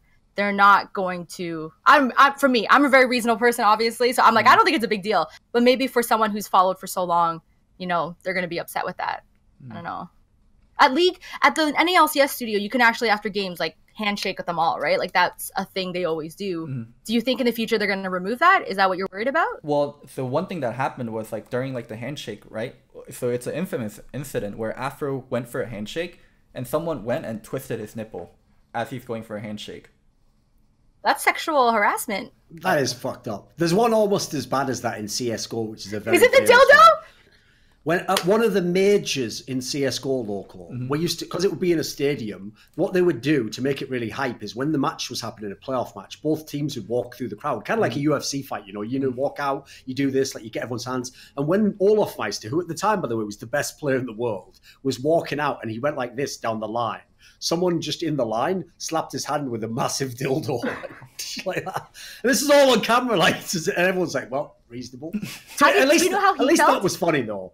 Did you talk uh, to him about that? Luckily, he has like an all right sense of humor, so he wasn't like super bothered. And by the way, CS:GO pros from back in the day when CS was way smaller as an esport, like they're, they're not really going to get like rattled by that sort of thing. So that's not as big a deal. But I agree, like like the the Aphromoo one's ridiculous. Like under no yeah. circumstance should anyone be touching you like that. Even if it's just as a joke, like just don't do it. Like mm-hmm. that that is out of control. The problem mm-hmm. with that, by the way, is obviously, like I said, in the UFC they walk along, you know, when people could touch them. The difference is at the UFC, people understand if you reached over and do some guy's nipple, there's a security guy there will just literally pull you out of that like some ex linebacker guy from college football will just grab you out of that stadium yeah. and you'll be chucked the fuck out of the stadium instantly. So once people understand that precedent, I think it'll get fixed. Because here's the thing: even though I agree with you, Loco, there definitely is a lot of room where we're just lucky that no one has done anything really fucked up yet. Mm-hmm. It could have happened. To be fair, a lot of that does happen anyway in like traditional sporting events. Like I often think about like the maddest one ever, dude, is I like I like the sport tennis, right? Mm-hmm. And in tennis, it's actually a sport that the crowd can ruin the actual game easier than any sport in the world. Because if you're going to serve and someone shouts, it'll put you off. Like if you're just about to hit the ball and someone goes, "Hey," you'll you'll what the fuck, right. and then you'll you'll do it right. So as a result, in theory, anyone in the crowd at any moment could just ruin the game. Mm-hmm. But the reason it doesn't happen is because of what I just said there. Like people know if you shout something out, someone will spot you and people will say it was him mm-hmm. and they will literally boot you out and you might even get like a lifetime ban or something. Mm-hmm. So you, you kind of like have to have a precedent set really that people know also what happens if you do something really stupid like that. Okay, so I well my example was more so let's say what if it I wanted to like physically like touch Kevin Durant on the shoulder like sure literally impossible for me. I would have to get. I mean, if you were courtside, you could maybe do it. Yeah, know? so I would need courtside tickets and I would need to like rush up as like he's playing right. So sure. if I wanted to tap Bjergsen on the shoulder or like touch Bjergsen on the shoulder, the most famous player in our game, or at least in LCS or double Doublelift, whatever, we don't have to have the discussion right now. But if I wanted to tap Bjergsen or Doublelift, very easily doable. Like to just physically touch, and if I could be doing it with ill intent, like someone with ill intent sure. could do serious damage like that. And the fact that fan interaction is so possible and so readily available is a great thing and also I feel like a horrible thing waiting to happen. There has to be more vetting. There has to be better security around it. I mean, as we see esports go big, go bigger and bigger, as media too, we, we're starting to feel, I think, a distance more, right? With, for example, Overwatch League, I've personally felt that it's been really hard to get con- like contacts with the players and the casters because with when you want to interview a caster from Overwatch League, you actually have to go through their PR. You cannot directly message them. Uh, if you do, they tell you to talk to PR. PR has to reply, has to set it up and everything. Same with players. They go talk to my PR. Like now in esports, it's a whole talk to PR, talk to PR, talk to my agent, mm-hmm. and that's become that's a growing distance that's happening now that esports is getting so big. On one hand, it's great for the players, you know, having agents, all that stuff, protection. But at the same time, for media, it's getting harder and harder. And I don't know. I don't know if we're ready for that challenge, but at the same time, it's kind of something we have to accept as esports grows bigger we're gonna have to go around those, I guess, obstacles. Mm-hmm. And I know with NALCS, the big thing was that before they used to give interviews at finals, right? Like mm-hmm. with individual players. The last couple of seasons now, it's press conference only, yes. unless you're one of the big top three or whatever. But basically, it's all press conference. So it's not worth it anymore to go to these events to get a presser that everyone's literally going to just put that content out, any, out anyways. Mm-hmm. So there is a growing distance between players and media, teams and media. Mm-hmm. And I don't know. That's kind of daunting as a content creator, you know, to sure. think about. But down the line, that just shows maybe pros, like content around pros, is not the way to go anymore. It's mm-hmm. now about building your own personal brand, yeah. analysis, like you guys have done, right? Like that is just we got to expand our world. It's not just about players anymore. It's about the universe, right? The world of gaming. Mm-hmm. And that's kind of something the squad has already like considered. We're doing not just pro player stuff. We're doing just entertainment and lifestyle and all that stuff because that's basically the world we're now living in esports it's yeah. a lifestyle it's not just sport yeah to survive as media i feel like you have to have your own brand or it's impossible to survive and the media without their own brand like isn't that relevant doesn't get hits like I feel like someone like Emily Rand and someone like Kelsey, they write great pieces. Their pieces are um, very articulate. They know a lot about the game. They're very legitimate, but those aren't the people getting the most hits, even when they are working for like media outlets like ESPN. So your own brand is super important, and how you portray yourself and how much fan base you have, how much influence you command is huge right now for media. Well, that's also because, like, another element, like, for the example you gave there, like, one of the problems in that particular example is like I wouldn't describe those people as like fabulously charismatic or very entertaining. And the problem is, those are the, actually the like if I had to pick skills which would be the best to succeed in, I'd actually pick those rather than knowing about the game. Like if you're entertaining or when you speak it's compelling or there's something about like just the way you speak, it's charismatic. People are drawn to you. They want to hear what you have to say next. You haven't even said anything yet, and it's it's the people are in. They've bought in. The problem is if you go the route of like I just know everything about the game. That's also the only level people can engage with you on. Like mm. either they know right. as much about you or they're judging you like, well, was it as good? It's the same thing with the example of being a coach Loco. Like I actually made this point to you on a past episode. I think it's a real point though. Is like if you try and battle a player, like I I'm your coach and I know the most about the game you can be you might be able to win. Like maybe you make a point and the player's like actually yeah you're right i was wrong about mm-hmm. that but if you if he now thinks he beat you on that point like he made a better point mm-hmm. you now have no leg to stand on because you made your whole thing about you know more than him. Yeah. Whereas if instead you were like i'm just the i am the authority figure and i'd like to discuss this with you but we can have a discussion you know and either way like my job's to do more things than just know everything about the game. Now you've got like a position that's like they can't like assault that basically. So it's a tough one because i do agree like those are people obviously i've tried to help many times in the past. Mm-hmm. And i don't think it's not it's like here's the thing they have their own niche, but the problem is, you're right, they're not going to be number one unless they can add some of those other elements. Like, actually, I would say, I, I, mentioned it earlier on, I would actually say that's an area where Lisa actually has, seems to have a strength over many people in esports. Like, if she did an interview with Bjergsen, she's not going to ask him about like super in-depth stuff in the draft or what he did in the 1v1 matchup but i bet she could get some more interesting questions than someone who had no personality and asked those amazing questions about the topic it might be a more interesting interview mm-hmm. loco i'll teach you some things don't worry. sure, Lisa, sure, sure. I don't. There, there's always been that debate whether it's easier to learn journalism skills or personable skills or the hardcore like analysis part, right? I can probably read a book, I can watch videos, I can learn about the game, but you can also practice the personable skills. But which sure. one is kind of harder to get? You know? I don't know. I was of... naturally gifted with both, so I never really had to put work into either. Oh, fuck you guys. Oh my god, I hate this silence. I mean, I'm not going to say you don't have any skills, but you know. Oh my god, that silence I can't, I can't fucking... be complicit in a lie. So... Oh my god, that silence lasted five minutes in my. Oh my fucking god, that was just. Oh, that was uncomfortable.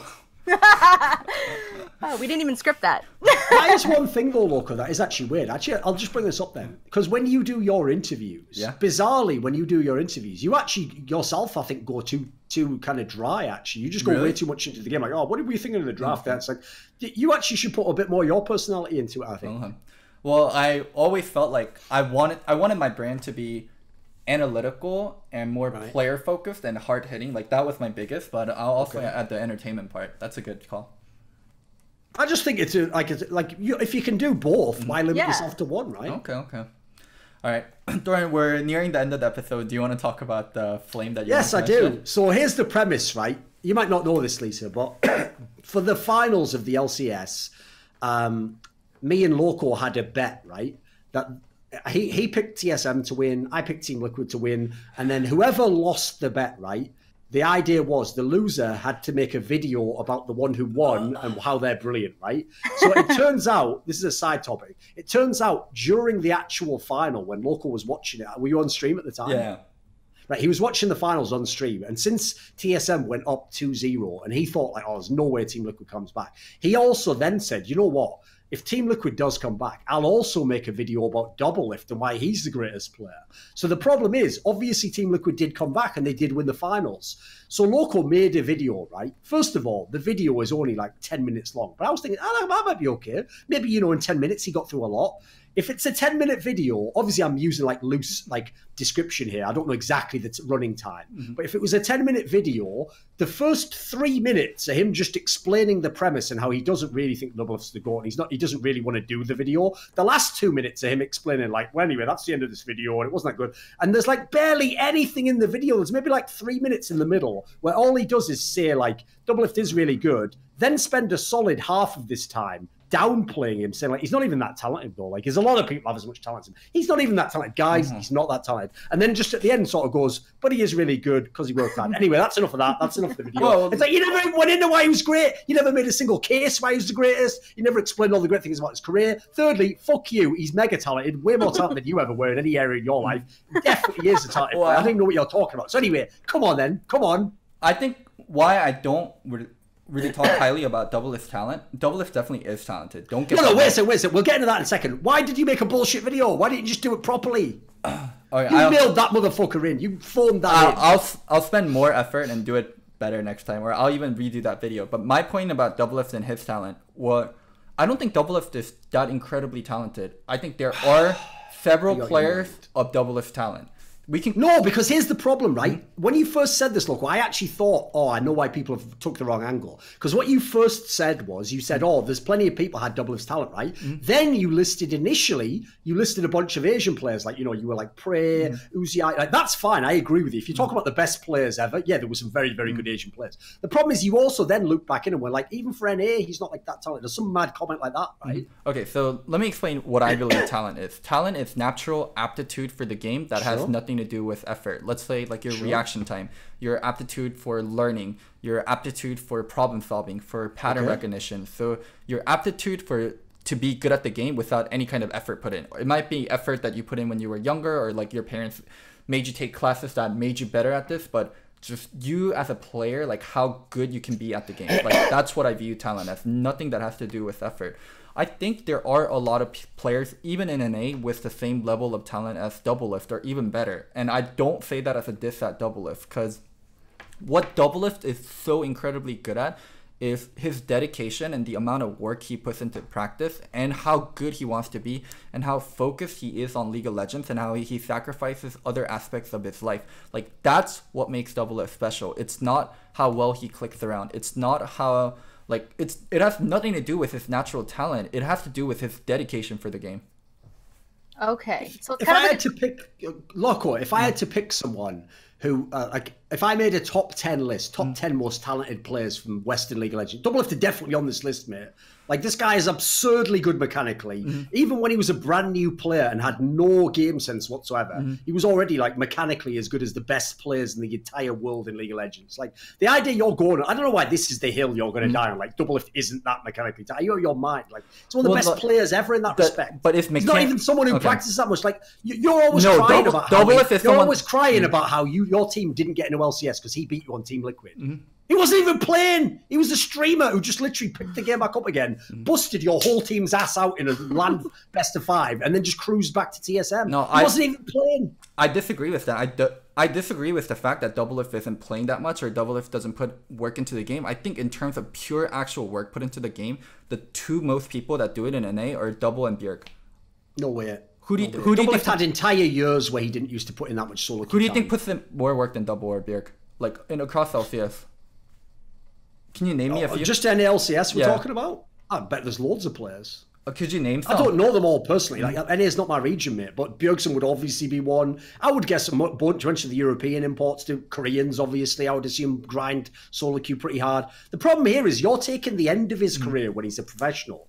The first half of Doublelift's career was raw as fuck. In mm. CLG, they were playing like Mortal Kombat 3 and then going and playing like LCS games with no scrims. Like, they were still the, really good even then. Those days were bad, and people mentioned Zven as someone that puts in a lot of work. So, where on that end, I will admit like Doublelift does do better than Zven with less amount of practice. From what I've seen, like all Zven does is play solo queue, and all Zeben does is think about League of Legends and play League of Legends. But in terms of talent, I don't think Doublelift is like that's not the most special part of double Doublelift. I think the most special part of double Doublelift is his dedication to the game, like day in, day out, and also the consistency and how long he's been able to have that dedication.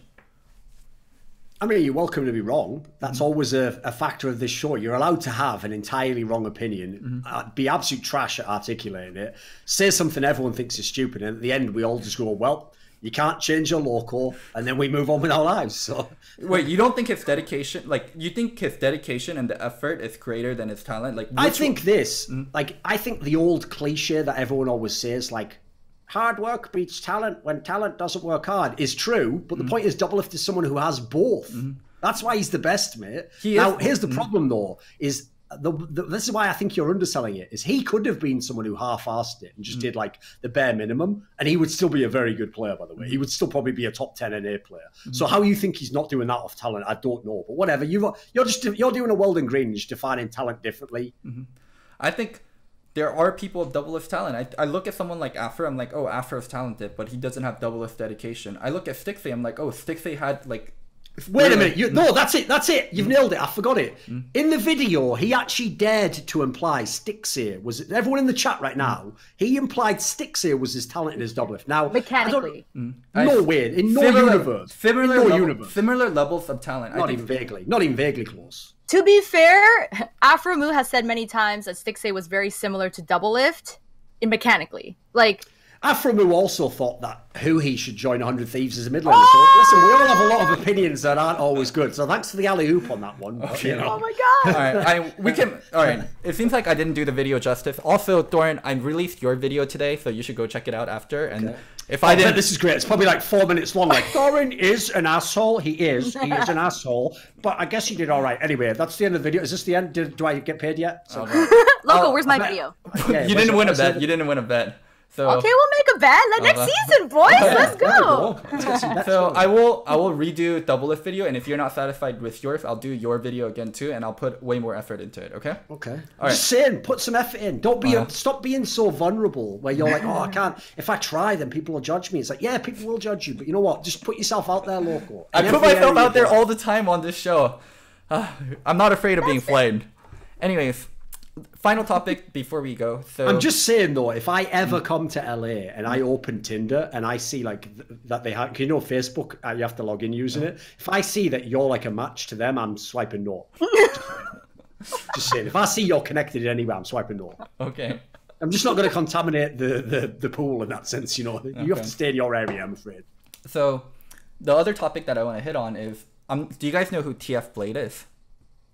Yes. Vaguely streamer? Yeah, TF Blade is a streamer. He's one of the best players in North America in terms of solo queue. He's constantly hitting rank one. He plays a lot of the top lane carries. Um, he is a streamer for Team Liquid. So recently, he got banned from Twitch for 30 days because supposedly he said the N word on stream. And if you go back and listen to it, I think he says idiot. I'm not going to say whether he said idiot or N word because, I mean, Twitch doesn't agree that he said the um he said idiot. Twitch still thinks he said the M word, but TF Blade appealed and he told Twitch like, "What the fuck? I didn't say the N word. I said idiot. You can clearly hear I said idiot." And Twitch replied to them being like, "Okay, we still think you said the N word after listening through the video and listening through the clip. We still think you said the N word, but because we don't think you are hateful and because this is your first offense and you'd never ever had anything like this, we're gonna give your we're gonna reduce your ban from 30 days to seven days. And then a lot of the streamers in, were in uproar about it even steve. So because he's on team liquid steve said i listened to the video 20 times. He says idiot. I'm going to talk to twitch about this and hopefully figure out this misunderstanding. Where i actually thought it was a really big deal that steve spoke up is liquid and twitch are very closely intertwined. Um, they are in a partnership where Twitch exclusively sells sponsorship for Team Liquid. So they're very, very closely aligned. So Steve going out of his way to kind of challenge Twitch on that, I also think is a big deal. So that's kind of the issue at hand. What's your guys' take? Uh, on one hand, this is Twitch's platform; they can do whatever whatever they want with it. On the other hand, if they, it has to, it, it comes with humility. I think, like if they realize they are wrong, they can just say they're wrong. They should say they're wrong and just you know turn over turn it over. Um, I don't think this is a really. I haven't seen the clip myself, so I can't really you know say whether he did or not. Steve stepping in is great that he's defending his own players. You know, Steve has always been one of the best owners, esports team owners. Mm-hmm. Um, so I think that's great. Twitch, uh, I, I have I need to see the video. Actually, mm-hmm. don't know. Thorin. Here's the problem with this is like I'll be I'm actually probably going to be the only person who gives this particular opinion, but you know that fa- there was two famous cultural incidents people will know when I refer to now. So you remember the one where that girl had a dress on, and you either thought the dress was like black and gold oh. or like blue and some other color. And, for, and, for, people who don't know, you remember famously everyone just like argued, and then there was a uh, there was a sound clip where someone said Yanny or they said some other word as well. Mm. Same thing. Basically, what these were actually phenomenon of is it actually depends on like the circumstances how you perceive something so i think you might have seen this online there's a there's a gif someone made mm-hmm. to show why the thing happened with the dress where they take a section of the collared dress here mm-hmm. and they move it to a different lighting and basically if you have like different like uh, if you're slightly colorblind or whatever, then in, on this other lighting, it suddenly becomes like this works for my eyes. It goes from being like black or whatever to whatever the other color is. If you put it over a slightly different shade, like it transforms what your eye sees. Well, basically, the same phenomenon, I, as far as I can tell, happened with this clip because when I first saw the clip was before I heard all the drama. I just saw someone saying he was banned. I clicked the clip, and you know what? I actually at first did think he said the N word. Like I actually was like, "Holy shit!" Did he really say that? Like, but then when I looked and he said that he said idiots, and then I listened with idiots in my mind, I was like, oh, he, he definitely says idiots. Like all of a sudden it changed. And so I would just say, like, it's just like on the, the problem with it is if you view it with like no context whatsoever, I could see someone going either way, like mm-hmm. coming one way or the other. So my problem with the whole scenario is this, is like since I don't think it's clear that he said the N word, and also the context doesn't make it seem likely that he did. Like he mm. didn't seem like he was super angry or whatever. He wasn't like flaming. He also is not someone with a track record of any sort of behavior. So like I don't like in that scenario. I, I think if you're like the judge, you're the person who's overseeing what happens. You should give the person the benefit of the doubt. You should be like, well, I, I don't, you know, in this scenario, it's not really conclusive. He did do it. If they're saying they didn't, and it seems reasonable, we'll just say on this case, like, okay, be careful with that in the future, but you know, we'll just give you a mm-hmm. warning or something. Like, my problem was more the angle on you said you Loco, which is mm-hmm. if they really do know they fucked up, you've got to admit it at that point. What? You've got to say it for the sake of the community. You can't like punish the guy if you know mm-hmm. he's innocent. So, mm-hmm. like, I can't, on that one, I'm kind of torn because I think it was like debatable. But I will say, once people said no, no, he's saying idiots, then it did seem very clear after that. But I think it's trickier than people make out so he says idiots a lot on stream and he never says the n word so he's always like oh idiot this okay. idiot that idiot this so it's not in his vocab to say the n word first of all so i well that's what he probably should have done by the way this is what i would suggest then I, am surprised he hasn't thought to do this get a bunch of clips of him saying idiots and then put him saying that after and see if it's similar mm-hmm.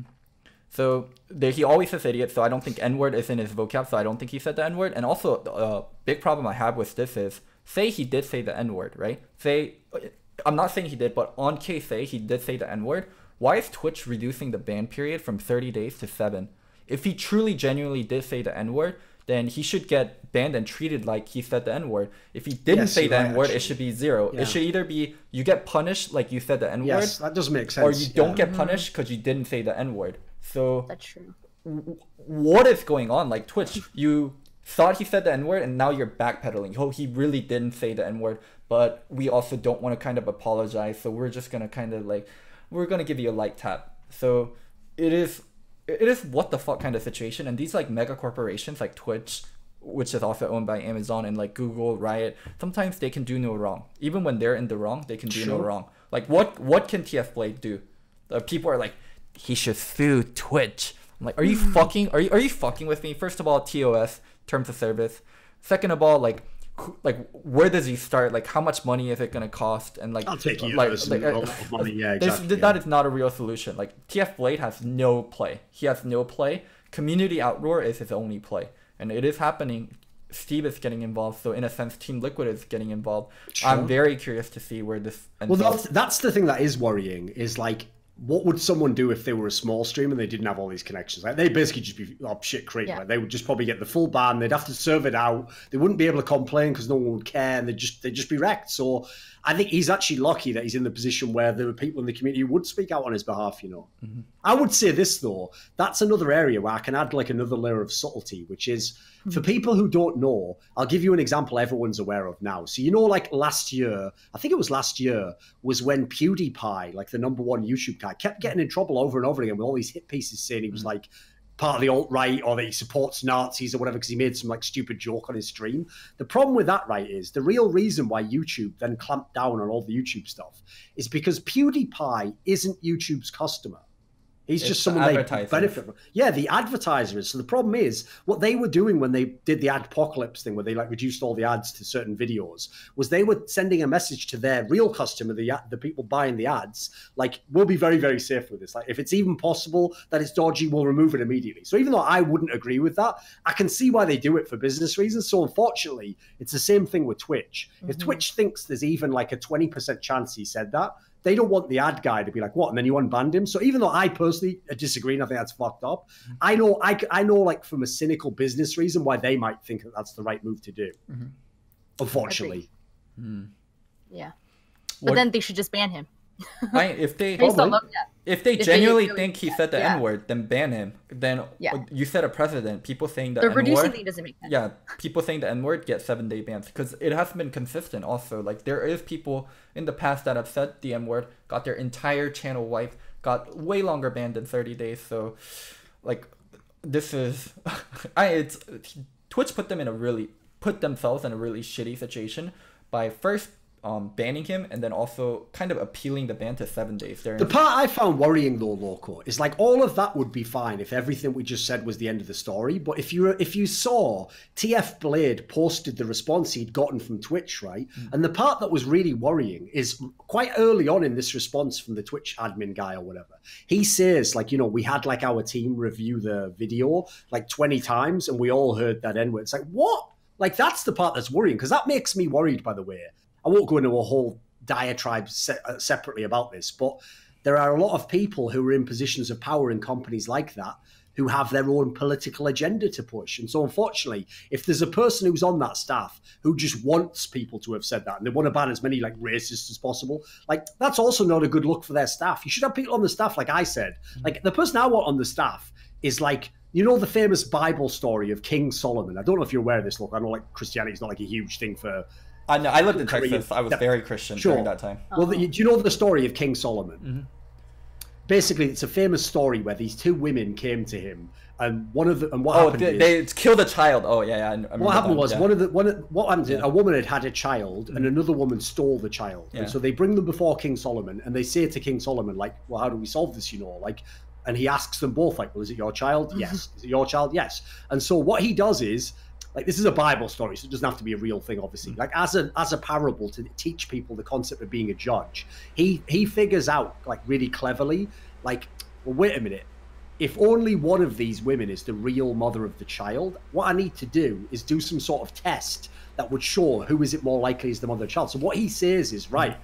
well, since you both claim that you're the mother of the child, guy like you know, guard, come forwards. I'm gonna have the guard cut the child in half and I'll give half to each of you. Mm. And then in this story, because again, remember, it's not like a real story, it's a parable. In the story, what happens is the woman who just stole the child goes, Yeah, do it, cut it in half. And so then obviously he knows that, well, that couldn't be the real mother, you know, because obviously the real mother would be the one who's like, no, no, in that case, just give it the child to her. Like, you know, mm. it's better that the child lives. That's like a clever way to do it. Mm. That's what I want the judge here to be like. I want the person who's the admin to be like, right, I'm not trying to ban people. If someone's done something wrong, I will ban them and I will ban them, you know, to the letter of the law. But if someone actually seems like they genuinely, it's an accident, they didn't, then I'm going to be merciful. Like, I'm going to actually find what's the reasonable. That's what you want the person to be like. You don't want the person to be like, is there any way I can, I can find that he said this thing? Mm. He did, right, ban him as much much. You don't want that person. That's the last person who should be in that position. There is there context to this? Is there context? Do the Twitch people know this guy says idiot all the time on his stream? He has never been racist. He has never said the N word. Like if this is someone that is all some maybe like this person's very spicy and he's always sure. like towing the line, and like all those contexts matter so much in this and like he's, of course he's never like that so it's actually something that happens in court, by the way. In court, they actually do instruct you. I don't know if they do it in America, but in England, something that they actually say to juries is if someone has never had a criminal record, even though that might have no context to the actual crime they might have been mm-hmm. accused of now, they will say, I actually would want to point out, like the judge will say, I want to point out this person has no criminal record, and so you should give him like the benefit of the doubt as yeah. a result that he doesn't have like a history of doing crime. Like you shouldn't assume he did it. So mm. I would say that yeah, I agree with you. I think they should have, should look look that up. Like like for example, I would actually want to know did the person who's making the judgment do they even know who that is? If they don't, I might not be a good person to make the call. Mm. All right. cool. Um, Lisa, Thorin, any final topics you guys want to hit on? There's nothing we kind of went all over the place. Mm-hmm. we kind of went all over. want to hit on. Let's leave it that.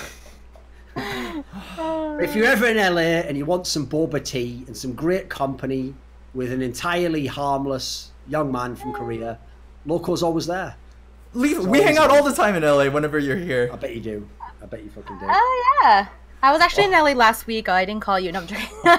Wow. no, no, no. Of course, of course. Loco's great. Yeah. Just yeah. I, I we're This not isn't hanging a out. dating ad. This isn't a dating ad for No. Loco, right? Is that- Exactly. We're Plus, not hanging out next he, time. He doesn't want We're- we're not hanging out next time. anymore. We're not hanging out And he's looking for a Yeah. deep connection and that now. Don't send him nudes. He's over that life. Don't do that. Don't do that. I hate you. I fucking hate you. Anyway, Don't send him nudes. He likes that stuff. Lisa, any final words before we end the show? No, it's it was actually time flew by. Wow, I think we kind of went all over the place. It's funny because we're like, let's talk about media, but we kind of mm. went, you know, your dating life, talked about streamers. Like it kind of really went all over the place, which was honestly really fun. I'm glad. I'm glad we did this, and hopefully we get to do it again next time. Maybe we'll have you guys on our show. For sure, This for kind sure. of. For sure.